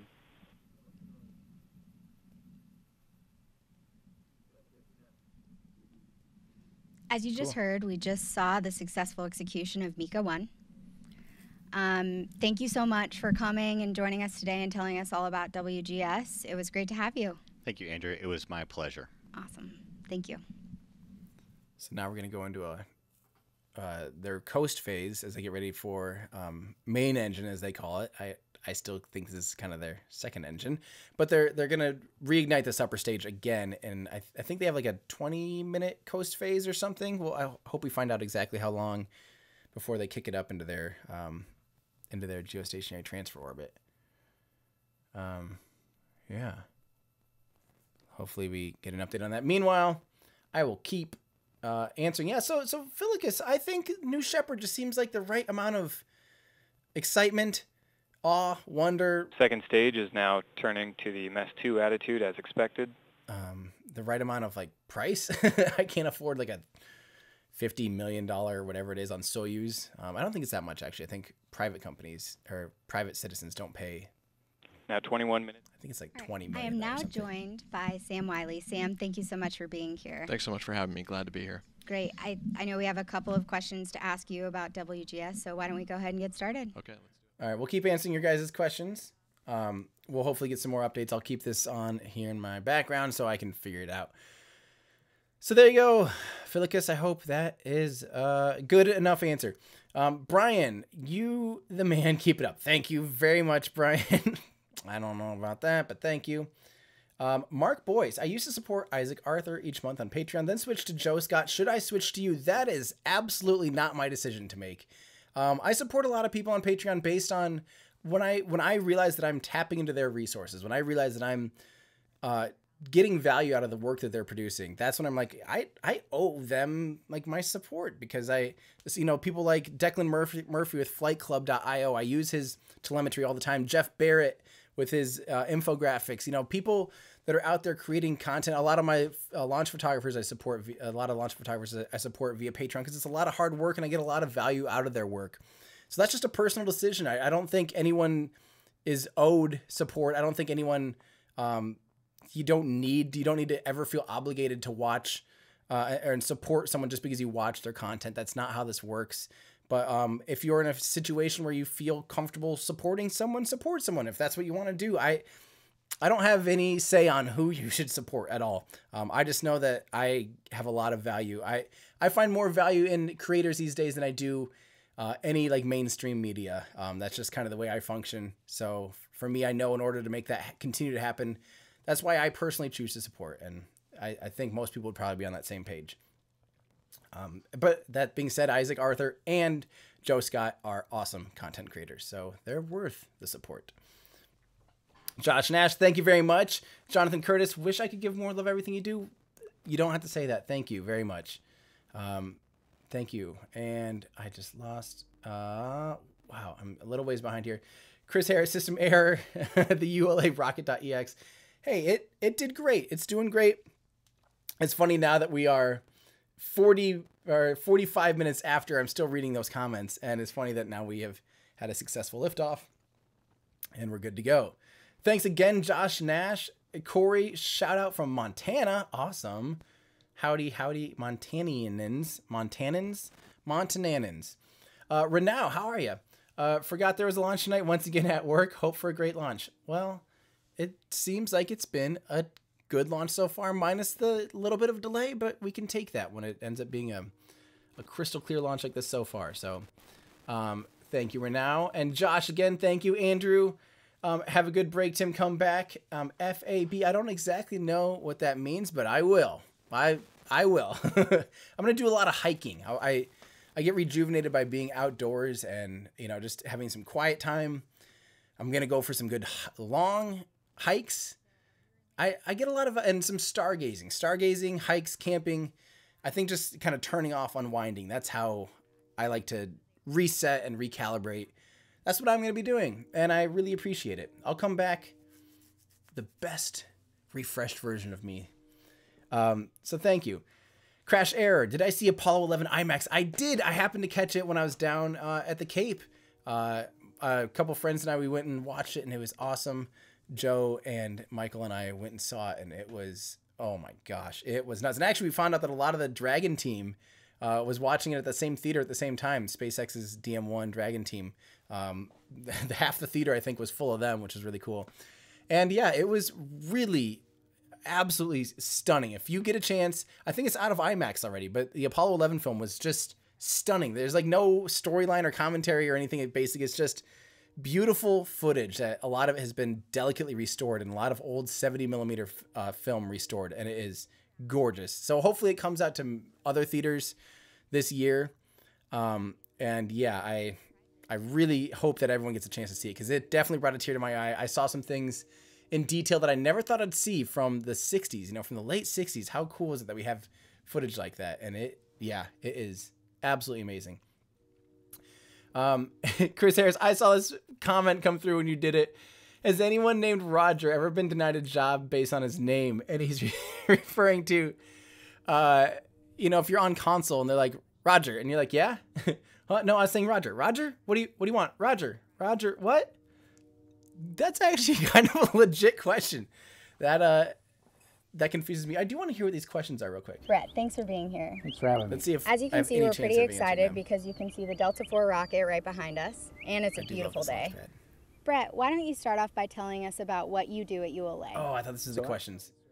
I'm gonna listen in. I do want to see if we can answer any of the questions on the fly. But if again, if they're just straight strictly about WGS, I don't have the knowledge on that. If it's about the Delta Four, I might have a little bit of knowledge on it. Um, so then we have a, a comment from uh, Li7 in six.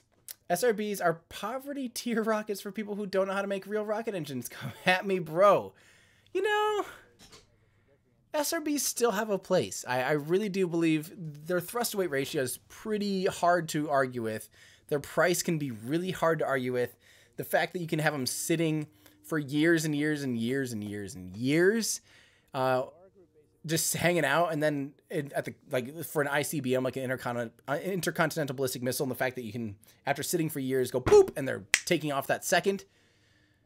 There's a purpose still, you know. Um, they're dirty and they're they're can be potentially more dangerous when involving human flight.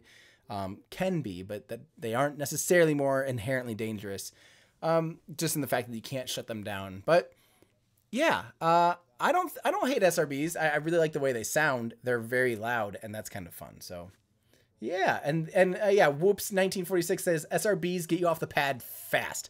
They tend to, especially something like the Ariane 5 just just is gone sometimes. It just as soon as those SRBs light, even watching the shuttle footage from the shuttle when, you know, those SRBs light and it just goes right away. It's they're pretty cool. Um Go slash 27 says SRBs can be shut down. They can be shut down by remote terminating them. Uh, and that's typically not ideal, but um, they, they can be. um, There you go. That's that's my uh, that's my rebuttal to that. Lazy listener, thank you very much.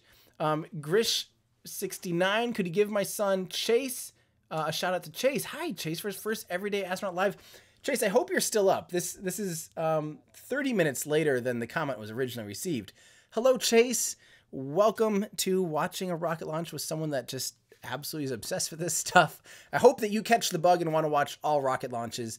Um, even though some missions are, are more exciting, doing crazy new things, they all are always very exciting to me. Just because you know, you know, there's so many so many things that need to go right. Literally, like hundreds of thousands or millions of parts all need to be working in perfect unison all together, and it only takes one of them failing to make the thing not work. So when a rocket launch goes off and it works perfectly, it just makes me really appreciate how hard and how smart people are that are able to put all this stuff together, make it work reliably, make it work. How I mean, how does it even? How do you do that?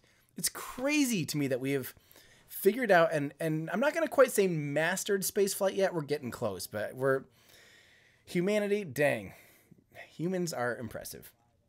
So hey, Chase, enjoy. Hope hope you made it through this long. Um, Emily, why are S why are the SRBs so tiny? That's a good question. Emily, I think it's because they they can easily add and subtract and have no or a lot of SRBs based on uh, the mission demands. It makes so they can just kind of bolt on different ones. When they're small like that, they're easy to transport. They're easy to manufacture. They're you know you just kind of gain an efficiency in having many small SRBs compared to manufacturing uh, large ones. For instance, the SRBs from the space shuttle, the the giant solid rocket boosters that were on the space shuttle. Um, I'm gonna go ahead and do this for a little bit. Um, now we're going back to this, uh, run the coasters. The, the, yeah, I'm gonna listen in here quick. Oh, they're doing This the is Delta Mission Control at T plus 30 minutes 30, 13 seconds. As just reported, the RL-10 engine has been restarted. Our next event, MECO 2, will occur soon. sweet.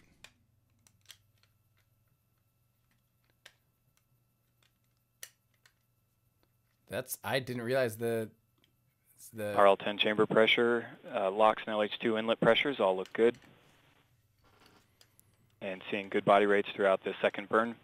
Good. And seeing some periodic thruster activity as expected. Seeing the uh, ACS line temperatures are staying very close to bottle temperatures.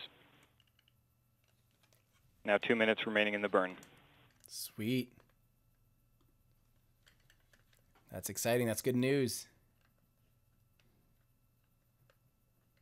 Now passing 31 minutes into flight.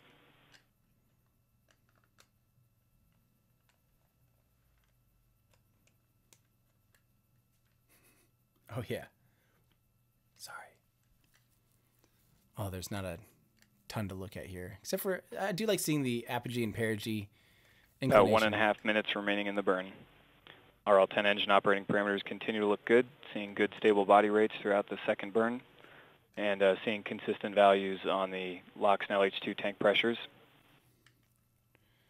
Notice these values are given in nautical miles. Um, I personally prefer the metric system. So when we're coming up on the perigee is raising to about 200 miles. That is um, 300 and, And about one minute remaining until main engine cutoff. 320 kilometers, and that's the lowest point of the orbit. And we're just coming up over 16,000 kilometers at its highest point. So you're going to see the apogee, the highest point is raising um, most at, at this point because it's now passing through the lowest point of its perigee. So it's as it does this acceleration burn, the, the highest engine point continuing to perform well throughout the second burn. raises. Thrust chamber pressure uh, maintaining a good value. We are now approaching main engine cutoff 2. Let's listen in.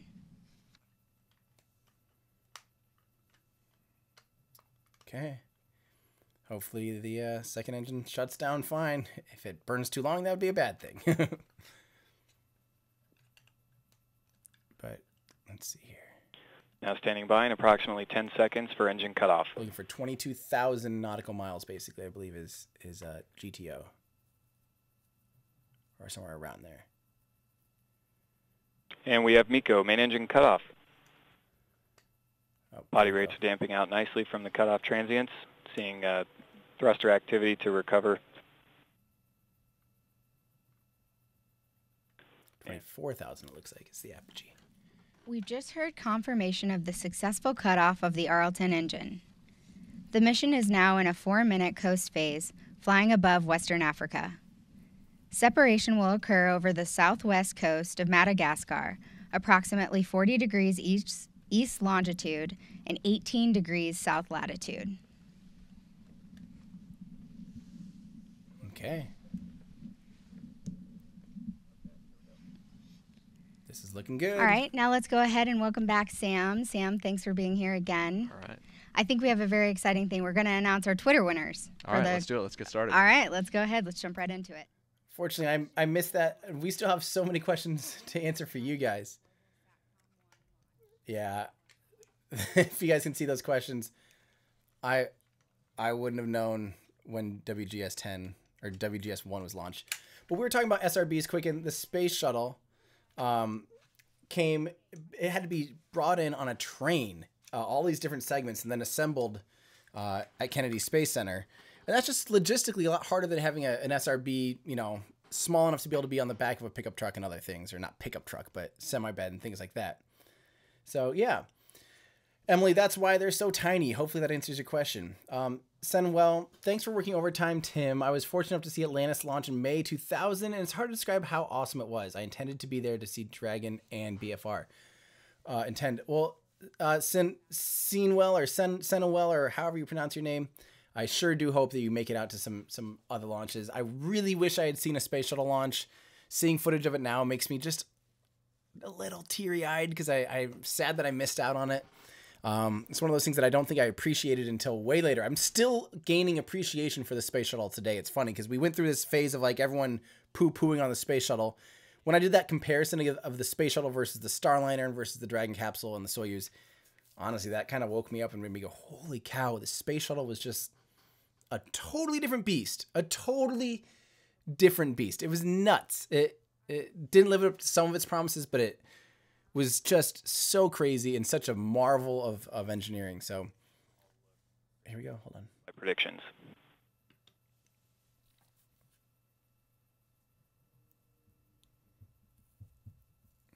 So now I think we're just basically waiting for payload separation.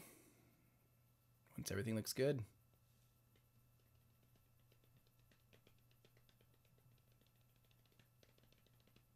Now just one minute remaining until spacecraft separation. Uh, I see a question real quick from Yo uh, Johannes or Joe Johans uh, asking about wanting Vehicle to build body rates remaining close rocket. to null as the vehicle is staying in its desired spacecraft separation attitude. Definitely, definitely subscribe to BPS Space, BPS Space, right here on YouTube. And Uh, seeing uh, settling thruster activity as the vehicle prepares for spacecraft sep. You'll learn so much. That's definitely the best if you want to learn about thrust Now vector 30 control seconds remaining rockets. until separation. Here we go.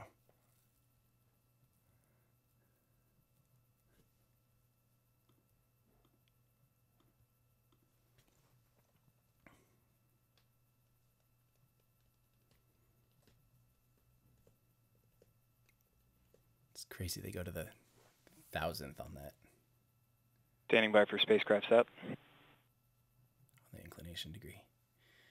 Here we go. Hopefully we'll get good And we have good indication of spacecraft separation. Good. That's awesome. Sam, we just heard evidence of successful stage separation with WGS 10 satellite. Congratulations. Thank you, Andrea. This is another important milestone for our warfighters, our nation, and our allies. Go wideband and hang 10. great, great indication there. I'd also like to thank Patrick Moore for providing us with launch commentary today. If you want to learn more about our, today's launch and United Launch Alliance, please visit our website, United Launch, United Launch, U- ULALaunch.com. You can also visit us on Facebook and Twitter. We'll leave you now with another look at liftoff of the Delta IV rocket carrying the Air Force's 10th WGS satellite. Cool. On behalf of the entire launch team, thank you for joining us and have a great night. Nine, Thanks, Andrea. eight, All right, so we're just gonna I'm just let this play in the background. I got lots of questions to answer. So if you have asked a question, I haven't forgotten about you. Uh, I'm still getting I'm still getting into it. Um, yeah, There we go. So uh, the Orfender, great question. What's the purpose of the orange paint? Why not some other color? That's actually the natural color. It's not paint. It is the natural color of the insulator. So the tanks are insulated. Same. It's actually very similar insulation, and very similar tanks actually to the space shuttle um, external fuel tanks. Um, and the insulation that they spray, it's a it's a foam insulation they spray on there. Uh, they on the first space shuttle missions and on um, the Saturn V, they used to coat it and or it's paint it on top of that. They ended up realizing that that just adds weight and actually has more prone to chipping off than uh, than just having the insulation be bare. So now when you see an orange rocket like that, that's just the color of the insulation, actually, the natural color of that particular insulation. So that's why it's orange. And thank you, the Orfender. Thank you, the Orfender. Um, Christian, how come there's fl- oh, how come there's flames, flares at the trajectory smoke? Approximately 30 to 100 seconds afterwards, flames and flares in the trajectory smoke. Um, I'm not entirely sure what you're referring to there, Christian. Let me let me try and rewind here quick, see if we can catch a glimpse of what you're actually talking about here. Um, let's see here. Flames and flares in the trajectory smoke. Okay, they were still in a hold there. Here we go. Okay, flames and flares in the smoke. I'm guessing by trajectory smoke you're referring to afterwards. I'm gonna. Um. 34 seconds into flight. Mach 1 Delta 4 is now supersonic. I'm not seeing anything yet. That's all just. Pressure is tailed off from max pressure as expected. It's all just the flame so far. Um, not seeing anything too crazy. Flames and flares. Maybe you're referring to something you're able to see in person, because I, I think you said earlier, Christian, that you are there in person. It might be unburnt. Oh, there maybe that view. It may be unburnt bits of SRB propellant as it's ejected out. There might still be some stuff burning. But so far in the footage, I'm not seeing any other flames and flares. I'm sorry if I'm misunderstanding the question, but I'm, I'm not exactly entirely sure what you're referring to. Um, but I know at SRB separation, you do see a little something. Yeah, let me know if I didn't answer it. I'll, look and, and see if, uh, yeah. Okay, so James H. Bye bye birdie. You're right. It finally took off, and thank you. Thank you guys both for for the, your generous tips and and also the Orphaner. I don't know if I thanked you. Thank you very much. Um, Andrew. It's payday, just sharing the love. YouTube people, please join us on Discord and Patreon. Thank you, Andrew Kaler. I do love our Discord channel. Has kept me far saner than I could be without you guys. Uh, I love our community, so uh, thank you for those of you that are in our Discord channel. Yeah. Um, the, Christian, aha, Elon tweeted his answer to what we all missed. We better check that out here when this ends. I absolutely want to see that because uh, the Model Y was revealed last night, and apparently we missed something. So guess what, Sean, that uh, bet me on on uh, 50 push-ups. Looks like I might not have to do them because uh, looks like there was actually something bonus. uh, I'll, I'll check that out here in just a second. Um, um, oh, Jason. So people were uh, were saying in the Discord channel, we're saying it was SRB separation. Yeah, we were seeing the SRBs. You see those little twinkles there? That's probably exactly what you're referring to. Those are the SRBs falling off and tumbling through the air. You're seeing occasionally when the engine is facing the camera, you're seeing still the the burnout of the SRBs, but you see them tumbling like this because they just got flung off in one direction. They get flung off from the side of the booster and they continue to tumble all the way down. And so what you're doing is you're seeing the blink of the the burnout of the SRBs. I hope that answers your question, Christian. Um, so thank you again. And Dan, thank you very much. Stephen Reed, thanks for the answers about the flames. Didn't realize they were far behind the rocket. No surprise at Model Y unveiling. Done your 50 push-ups. We're about to find out here, Stephen. Stay tuned. Um, and from Liquid Chris, thank you very much from a fellow Iowan. Awesome. Um, Chrono Surter says, if this is how sane I am with Discord, I'd love to see you without me. Oh, you don't want to know. You don't want to know. Um, truck mini mini teaser. I can't wait to see it. Uh, Lazy S listener, hello. Oh yeah, we're just rewatching we're just rewatching this, aren't we? So we there we go. The stream is actually over. We did it. I will check out. I will pull up um, Twitter here real quick, and we'll see what we missed. Let's see here. That's weird. It makes you log in in order to. I did not realize that. Um. Apparently, I'm logged out here real quick. Let me get on here so we can all look at this together. One second here. Oh, geez. That's all it is. Hang on. What is this? That's the teaser pic of the Tesla Cyberpunk truck. What are we even looking at? It just looks like a glowing coffin. What is that? Is that the truck bed? That must be the bed of the truck with a blue headlight. I'm very confused, but apparently that's what we missed. Huh. Well, there we go. Uh I guess we're looking at the new uh, Tesla pickup truck, but I can't tell what we're actually looking at. uh Steven says that doesn't count.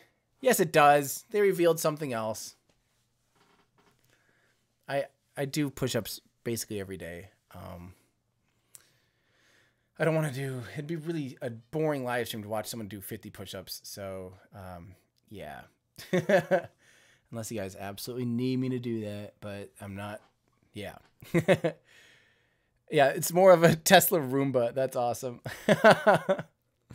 uh, okay, so Hey, everyday astronaut. I meant to, so this is from lazy listener. I meant to include this message that a uh, message a plane that flew here on Earth with no moving parts. Search for MIT no moving parts plane. Yeah, I I saw some stuff about that. That looked really cool. I, I actually never watched anything on it because I don't always.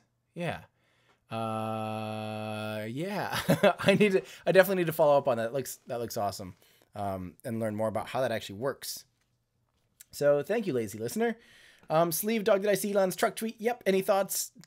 Glowing, glowing coffin slash Roomba. That's about all I have so far. Luke Bowers, thank you very much. And Ultimate TH, hey Tim, new patron here. Thank you.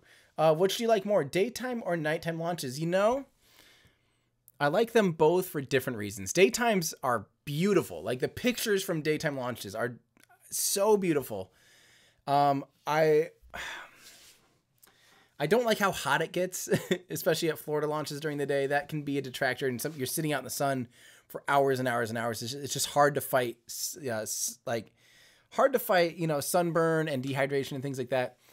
But they're also a lot of fun. I don't know. That's a great question. I like them both for different reasons. I, I think I almost prefer night launches are very magical because you feel like you're already looking at space since you can see the stars and stuff and then watching a rocket go up and sometimes the night sky is so clear you can just see it go for a lot longer streak shots with photography are a lot of fun i don't know which i like better between night and day launches um, don't make me choose i like them both i'm gonna go ahead and i don't know i don't know i don't know so uh um, yeah, there we go. I it's the new battery. That's a picture of the battery. I don't know what you guys are talking about. You guys are crazy. Um, that's crazy. I don't exactly. That's not a battery. I can't wait to see what that thing is. That is so weird. I'm gonna. I'm sticking with that. Might be the truck bed of it, but I have no idea. Um, do rockets react badly in the Florida heat? Uh, no, they they launch from Florida all the time. They do great. The rockets have a very uh, rockets have to handle like hundreds of degrees Celsius on ascent. Uh, they get really hot as they punch through the atmosphere. Uh, so they they can handle the the Florida heat pretty well. There is boil off that occurs. Sometimes the fuel, you know, it heats up from ambient temperature. It would be doing that unless the outside temperature is like minus 100 degrees Celsius, then you wouldn't have as much of that boil off. But rockets can are, are, having they have to design rockets around a very very wide degree of temperatures, from very very hot to very very cold. Um, so yeah, there we go, guys. And Josh Nash, thank you. I'm gonna go ahead. I'm gonna tune off I think it's time for me to go to bed, take the beginning of a quick little sabbatical, um, and I'm gonna head out. And I, one more reminder: we do have a lot of new stuff in stock. Uh, the Gridfin Nautica coasters are back in stock. You guys have uh, continually basically sold me out of these things. Um, I'm actually maybe going to get some actual coasters in, but I think I'm going to call them like thermal protection systems or something. Uh, I'll come up with something silly to name them. Uh, but we have some new shirts and stuff. The gold edition version of these shirts are now in stock as well. Uh, so be sure. a lot of these things are, are limited run. Once they're done, they're done. So if you want anything, uh, and again, remember if you do work in the aerospace industry, uh, you get 25% off the apparel section of my web store anytime. So um, click on something that you want to buy, and you can click on this link right here to receive 25% off apparel if you work in the aerospace industry. You have to have an email address that corresponds to uh, an aerospace entity such as NASA, SpaceX, Boeing, ULA, something like that. Um, and then it'll shoot you a link. We don't keep your email on file or anything. We just literally use it as a way to verify that you work in the aerospace industry. And then you get a code to take 25% off apparel at all times in my web store. So if you work in the aerospace industry and you have uh, an email address uh, of the aerospace industry, click on here. You can find out how to get 25% off. For the rest of you, though, patrons always get uh, a discount. I think they get 10% off at all times on anything in the web store. So if you um, want to shop often, consider becoming a Patreon. Just even um, the one dollar a month can pay itself off right away. So, yeah, um, Steven, thank you very much for that last minute tip. Thank you so much. That's awesome. All right, guys, it is time for me to tune out. Thank you so much for tuning in. I'm so glad that the WGS 10 satellite launch and mission went perfectly. Congrats to ULA, congrats to Boeing, and congrats uh, to the Department of Defense for getting that important satellite up there. So, um, unfortunately, uh, this is the second to last Delta 4 medium, so everyone start getting ready to say goodbye when the last Delta 4 medium launches. I think that's later this year. Um, so get ready for that. We'll, have to give it a little bit of a send off or some kind of, you know, maybe we'll make cookies or something. I have no idea. But stay tuned for that. Um, thank you guys so much for tuning in. Uh, this has been this has been great. It's time for vacation. That's gonna do it for me. I am Tim Dodd, the Everyday Astronaut, bringing space down to Earth for everyday people. Thanks, everybody. Bye.